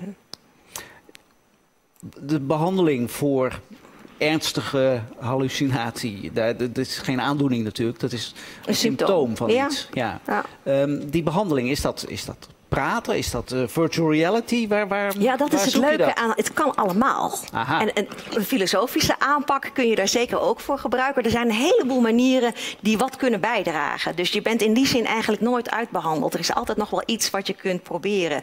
Ehm, je kunt op verschillende manieren ernaar kijken.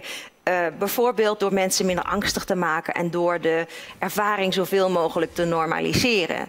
Eh, het idee dat heel veel mensen wel eens hallucineren en dat het niet eh, per se een ramp is dat je, dat je zintuigen je af en toe voor de gek houden. Bijvoorbeeld door dit soort illusies te laten zien die we hebben gezien vanuit Nemo.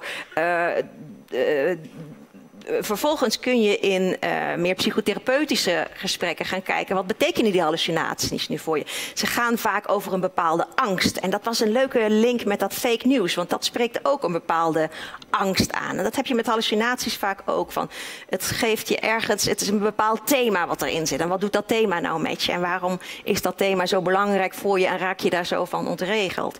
Eh, je kunt met medicatie eh, hallucinaties teweeg gaan. En bijna alle boodschapperstoffen in de hersenen hebben ook een rol in hallucinaties. Dus daar is ook heel veel in mogelijk. Want eh, even medicatie, wat, wat gebeurt er dan? Wat, wat doe je dan? Dan blokkeer je een bepaald Ja, je, proces? je verandert de hoogte van een bepaalde boodschapperstof. En zowel dopamine, serotonine, maar ook GABA, glutamaat. Al die boodschapperstoffen spelen een rol bij hallucinaties. Eh, en hebben dus eh, een mogelijkheid om eh, van baat te ga- eh, om, om, om, om daar, daarin te werken. Ehm, maar ook weer de mogelijkheid tot bijwerkingen. Dus dat is wel een gericht inzetten en baat het niet, dan schaadt het wel. Dus goed afwegen of, eh, of het, eh, of het eh, voldoende op, opweegt. De laatste methode waar we de laatste jaren veel aandacht aan besteden, is om de hersenen door de schedel heen via magnetische stimulatie ehm, te prikkelen. Ja. En daarmee een bepaald gebied wat actiever of minder actief te maken en op die manier hallucinaties te beïnvloeden. Dat, dat, dat, dat heet TMS? Ja, precies. Ja. Ja. Ja. Dan heb, zet je letterlijk elektromagneten op iemands Ja. hoofd en kunt daarmee iets bereiken. Ja. Ja, het jammere is dat eh, het bij een kleine minderheid werkt. Dus van de tien mensen hebben één à twee er baat bij. Ja, dat is natuurlijk echt heel weinig. Dus het schiet niet op om alle tien te behandelen. Maar de volgende stap is, hoe bepaal je nu welke één à twee mensen er wel baat bij hebben? En daar zijn we op dit moment mee bezig. Hoe kunnen we voorspellen wie juist... Het leuke van TMS is dat het vrijwel geen bijwerkingen heeft. Het is heel veilig en het heeft weinig bijwerkingen. In tegenstelling tot medicijnen, wat wel vaak allerlei Het bijwerkingen klinkt, heeft. het klinkt als een, vergeef me hoor, dit is onzin wat ik ga zeggen, maar toch als symptoombestrijding. Van je kunt het uitzetten, maar als je die magneet weghaalt, doet het dan niet weer Nee, hetzelfde? dat is zo. Het is ook symptoombestrijding. Als Ja. je de magneet, eh, vaak houdt het effect een maand of drie aan, maar daarna komt het vaak weer terug. Ja. dat is, maar dat is nog wel heel welkom hoor. Ja? Ja, symptoombestrijding is al, eh, als, al heel mooi in de geneeskunde. Veel behandelingen, eh, ja, zijn we met dat niveau al heel erg blij. Ja, ja, ja. ja. Zeg, je legde net ook de link naar het eh, fake news waar we het over hadden, nepnieuws. Ja. En vooral die angstcomponent. Dat Ja. vind ik wel echt heel interessant. Ja. Want je zei eigenlijk in een heel ander verband. eh, als je bang bent, dan is je, je ratio eigenlijk niet meer in het spel. Klopt. Dan gaat het om heel andere dingen. Klopt. En dan is je waarneming misschien ook veel sneller niet helemaal adequaat dan Klopt. wanneer je rustig bent. Ja, ja. Dat lijkt natuurlijk sprekend op waarom die broodje aapverhalen het zo goed doen. Ja, die broodje aapverhalen worden vaak, heb ik het idee, ook heel makkelijk genomen wanneer ze heel erg beangstigend zijn. Dan ben je minder kritisch, Ja. want dan gaat de angst met je op de loop. Je hebt eh, verschillende manieren van, van denken. Je hebt het eh, snel reageren, ehm, waarbij je ja, kort eh, eh, erover, erover nadenkt en gauw handelt. Soms is dat gewoon nodig en dan is dat eh, heel adequaat. Maar je kunt ook iets langer ergens over nadenken. En dan gebruik je je volle verstand en gebruik, zet je allerlei argumenten in. En dan kom je soms tot een ander oordeel. Met vooroordelen werkt dat vaak zo. Dat in eerste instantie komt een generalisatie, iets algemeens, wat vaak ook eh, een angst aanspreekt. En wanneer je iets langer doordenkt, dan komen de, eh, de rationele argumenten en dan komt eigenlijk je volle IQ tot eh, expressie. En het kan heel erg helpen om mensen aan te moedigen om die wat tragere manier van denken te gebruiken, om daarmee ook genuanceerdere beslissingen te maken. Zowel met het accepteren van nieuws als met het accepteren van hallucinaties. Ja, dat klinkt ook als een soort recept om misschien iets beter gewapend te zijn tegen Ja. die nep. Maar wij zijn van nature lui, want diep nadenken, dat kost gewoon moeite. En dat doen we gewoon niet zo graag. Zo zitten we in elkaar. Wij zijn zo zuinig mogelijk met onze hersencapaciteit, want anders ben je eind van de dag uitgeput. Dus wij willen het graag met de automatische piloot doen. En dan, ja, laat maar binnenkomen en... eh, dat eh, ja, kost. Dus als je, als je op Facebook zit te bladeren, dan wil je niet die zware hersenmachine steeds inzetten. Want dat, oh, dat is doodvermoeiend. Je, je- je hebt al gewerkt, je zit nou eventjes eh, te, te, Ja, ja, ja. te surfen. Dan, ja, dan, dat wil je graag met je, met je automatische piloot doen. Ja, Sanneke. Realiteit versus eh, waan, wanen versus hallucinaties. Eh, kunnen we iets leren, denk je, van wat hallucinaties blijken te zijn of kunnen zijn over de realiteit? Ja, dat denk ik wel. Ehm, al, dat is een, natuurlijk een, befaam, een, beproefde manier van het contrast. Van waar, wat, wat, wij, wat vinden we normaal, wat vinden we abnormaal... en wat zegt wat we abnormaal vinden over wat we kennelijk normaal vinden. Ja. Mhm. Ehm, en zoals jij al zei, van, daar zitten natuurlijk allerlei grijze gebieden in. Um, maar een van de dingen die inderdaad, die, die jij net ook zo heel erg uh, benadrukte... dat um, hoe, hoe erger als het ware je, de, de, psychische aandoening, hoe meer je in je eigen wereld leeft. Um, en dat is denk ik gewoon wel een hele mooie uh, samenvatting van dat we. Normaal leven we niet in onze eigen wereld. In de zin van dat we leven we in een gedeelde wereld. Ja. En kunnen we daarover mm. praten. En daar hebben we eenzelfde soort ervaring. Um, maar um, als je dus een psychische aandoening hebt, dan is die wereld dermate vervormd. Zou je, ja, vervormd klinkt meteen zo heel heftig, maar je zou kunnen zeggen in een bepaalde richting gebiased. Um, Dus stel, ik ben een heel angstig persoon. Nou is het, uh, nou is het op zich, denk ik, uh, nou is het op zich logisch dat ik een beetje zenuwachtig ben als ik voor een groep van zoveel mensen sta. Maar het zou anders zijn dat als um, bijvoorbeeld iemand hier in het publiek echt enorm zenuwachtig is om hier naartoe te gaan, omdat er zoveel andere mensen zijn. Um, en, dan, en die soort van soort van bias in je waarneming maakt dat je een heel soort van uh, ja, in je eigen wereld leeft eigenlijk. Het particulier is dan de kern. Precies, het particulier is de kern. En dat komt ook uit een, een, een, oude fenomenologische uh, psychiater van de Berg. Die zei ook eigenlijk is de psychiatrie het vak van de eenzaamheid. Zeg maar. van, het is, het is, het is, je probeert de wereld, je probeert in contact te komen met iemand die op een mhm. bepaalde manier in zijn of haar eigen wereld gevangen zit. Ja. We gaan nog uh, tot slot eigenlijk alweer. Het gaat zo snel. Uh, naar de zaal. Wie mag ik nog even het woord geven? Vragen, opmerkingen. Daar helemaal in de hoek, uiteraard. Dat is altijd zo. Geeft niks hoor. Gezellig uh, vragen allemaal. Ja, de basisregel is, we geven de microfoon niet af. Dat, vandaar. Goedenavond, mijn naam is Olivier. Ik heb een vraag voor Iris, psychiater. Heeft u het gevoel dat u met cognitieve gedragstherapie daadwerkelijk veranderingen in de hersenen kunt bewerkstelligen zodanig dat mensen geen hallucinaties meer ervaren? Uh, dat is een goede vraag. Ik ben persoonlijk niet zo goed in cognitieve gedragstherapie. Maar laten we zeggen, mijn collega die daar wel goed in is. Ik denk zeker dat dat tot veranderingen in de hersenen leidt. Meestal is het effect van cognitieve gedragstherapie niet per se dat de hallucinaties weg zijn, maar wel dat ze veel minder angstig beleefd worden en daarmee ook veel beter te handelen zijn. Dus je kan zeker die angst daarvan wegnemen en daarmee de heftigheid. En ik denk zeker dat dat ook tot veranderingen in de hersenen leidt.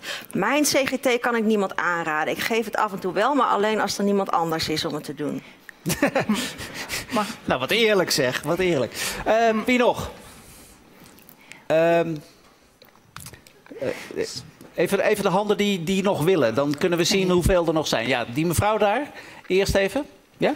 Um, is er, weet u toevallig of er een overeenkomst is tussen uh, de manier waarop hallucinaties door bijvoorbeeld psychedelische drugs tot stand komen of wanneer ze door de eigen hersens worden ja. gemaakt? Ja, dat is een goede vraag en ook een hele leuke vraag. Want van psychodelica weten we al behoorlijk hoe ze werken. En we weten ook iemand die uh, hallucineert met psychodelica, hoe we dat eigenlijk heel goed kunnen stoppen.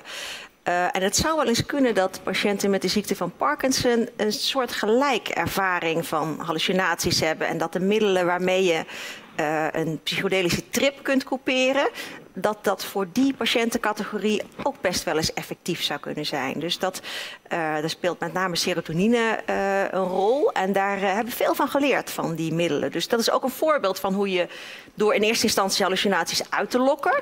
vervolgens kan leren hoe je ze weg kunt krijgen bij mensen die er veel last van hebben. Oké, okay. maar dat is nog niet af, denk ik. Nee, nee, nee, nee dat nee. is dat pas net begonnen. Ja. Okay. Maar dat is wel een interessante richting. Wie nog? Ja. Ja, ik had een vraag over. Oh, mijn stem is heel raar. Mag ik zelf al zo? Oh. Wat was de vraag? Ja, uh, als je door uh, gebruik van drugs gaat hallucineren, of je dan iemand kan genezen van de hallucinatie? Um, nou, Psychedelica worden ook wel ingezet als therapie, vooral bij posttraumatische stressstoornis en misschien dat dat ook wel bij depressie zou uh, werken. Uh, ik zou niet hallucinaties met hallucinaties bestrijden. Uh, want een heel klein percentage, we weten niet hoeveel, maar het kan een bijwerking zijn van psychedelica dat je uh, uh, heel, heel, lange tijd blijft hallucineren. Dus wanneer het druk al lang is uitgewerkt, dat je toch die hallucinaties houdt. Uh, ik zie af en toe mensen die dat hebben, die zijn gaan hallucineren, wat ooit getriggerd is door drugs en daar nooit meer vanaf zijn gekomen. Ja, ik zie het topje van de ijsberg, dus het kan best dat dat heel zeldzaam is, maar het gebeurt wel. Dus mensen die al last hebben van hallucinaties, die zou ik niet met psychedelica behandelen. Maar het zijn geestverruimende middelen. Dus je kunt naar situaties anders gaan kijken. En bijvoorbeeld in een depressie of in een, in een angstige neurotische toestand kan dat soms best uh, verrassende inzichten geven. Oké, okay, um, we gaan het hierbij houden. Okay. Dankjewel. Iris Sommer. Yes.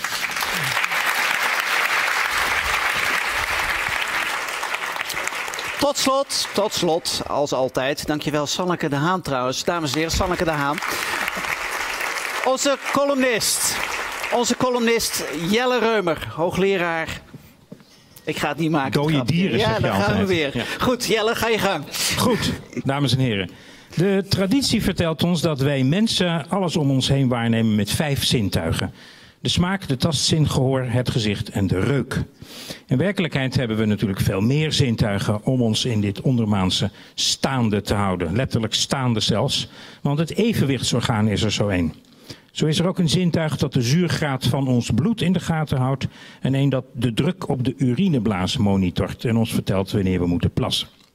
Ik las een keer dat we misschien wel een stuk of twintig zintuigen hebben. Maar echt is wat we objectief waarnemen met die zintuigen van ons. Het is nu vier minuten over tien. Buiten is het drie graden. Binnen zit Martijn van Kanthout. We kunnen dat concreet en objectief vaststellen. En als ik u nu vertel dat dat zo is, zult u er hopelijk niet aan twijfelen.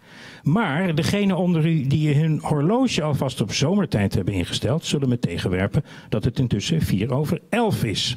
Wat het in Warschau en Kiev ook inderdaad concreet waarneembaar het geval is. Ah, een waarneming heeft dus een zekere mate van subjectiviteit in zich. In Korea bij de Olympische Winterspelen is het intussen zeven uur later dan bij ons. Daar is het nu vier minuten over vijf in de ochtend. Wat is mijn waarneming dat het nu net over tien is dan nog waard? Ik zou dus bij moeten zeggen dat dat alleen geldt in ons deel van de wereld en nergens anders. Hier openbaart zich iets interessants. Er is een discrepantie tussen de zintuigelijke waarneming die altijd objectief is en de verwerking daarvan in ons brein die altijd subjectief is. Ons brein is een grote verzamelplaats van waarnemingen en wij pikken daar af en toe iets uit dat ons bevalt of ons goed uitkomt, maar dat we het bovendien regelmatig verkeerd interpreteren. De bekende Britse psycholoog, filosoof en schrijver Oliver Sacks herinnerde zich uit zijn vroege peutertijd tijdens de Tweede Wereldoorlog in Londen een bombardement van de Duitsers, waarbij een bom was terechtgekomen in de tuin van de buren. Pas jaren later hoorde hij dat hij daar helemaal niet bij kon zijn geweest, omdat hij tijdens dat bombardement elders logeerde. En toen besefte hij dat hij dat verhaal kende van de opgewonden getuigenis van zijn broer, die er wel bij was. Kennelijk had het verhaal over die bom zo'n indruk op het prille kinderbrein gemaakt dat hij het was gaan internaliseren als een zelf meegemaakte gebeurtenis. Zo zie je hoe het brein kan worden gefopt. En niet alles wat we zien is waar. De aarde staat stil en de zon draait eromheen. Je kunt het elke dag meemaken. De aarde is bovendien plat. Want zien u of ik staand in de Flevopolder dat er iets rondloopt? Nee toch? God bestaat, want dat kun je ervaren. Excuus, het Flying Spaghetti Monster bestaat. Maar oeps, dat kan evenmin worden bewezen als het bestaan van God. Ons observatievermogen blijkt zo lekker als een vergiet en het brein gooit er met de pet naar. De theepot van Bertrand Russell, die in een baan om de zon draait, die bestaat. Klimaatverwarming, eh, en de global warming zijn een hoax. De middeleeuwse pestuitbraken zijn veroorzaakt door de Joden. 9-11 is een complot van de CIA. 2000 jaar geleden beviel een maagd. Ik was in 2006 in de datsja van Poetin. Of nee, daar was ik dus eigenlijk niet. Maar ik heb wel iets gehoord van een vriend die er wel was. Maar die, wat ik er hoorde toen ik er niet was, laatst weer tegensprak. Omdat mijn waarneming niet overeenkwam met de zijne. Maar toch is het wel waar hoor, wat ik daar hoorde. Ik bedoel, de strekking van mijn waarneming klopt wel. Geloof ik. Dit zijn zo wat opmerkingen die waar kunnen zijn of niet. Wie de waarheid wil beoordelen, doet dat aan de hand van wat hij of zij met zijn of haar zintuigen uit de omringende wereld opvangt, filtert, verwerkt, toetst aan eerdere waarnemingen en in het brein opslaat voor toekomstig gebruik. En dan kun je je in alle eerlijkheid dus zomaar een bombardement herinneren waar je niet bij aanwezig was. Dank u wel.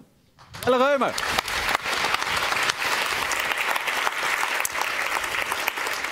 Dankjewel, Jelle. Um, dit was het voor vanavond. Ik uh, dank u zeer voor uw aanwezigheid natuurlijk. Maar tot slot even een applaus voor onze gasten. Frans van Hoesel, Peter Burger, Iris Sommer en mijn speciale filosofische sidekick Sanneke de Haan. Op 19 maart, op 19 maart, volgende maand dus, dan is er weer een kenniscafé. En dan gaan we het hebben over iets heel anders. Over allergieën, over de allergie-epidemie. Krijgen we tegenwoordig jeuk van alles? Wie weet. En is er iets tegen te doen? Wie weet. Kom kijken, 19 maart. Al hier. Tot dan.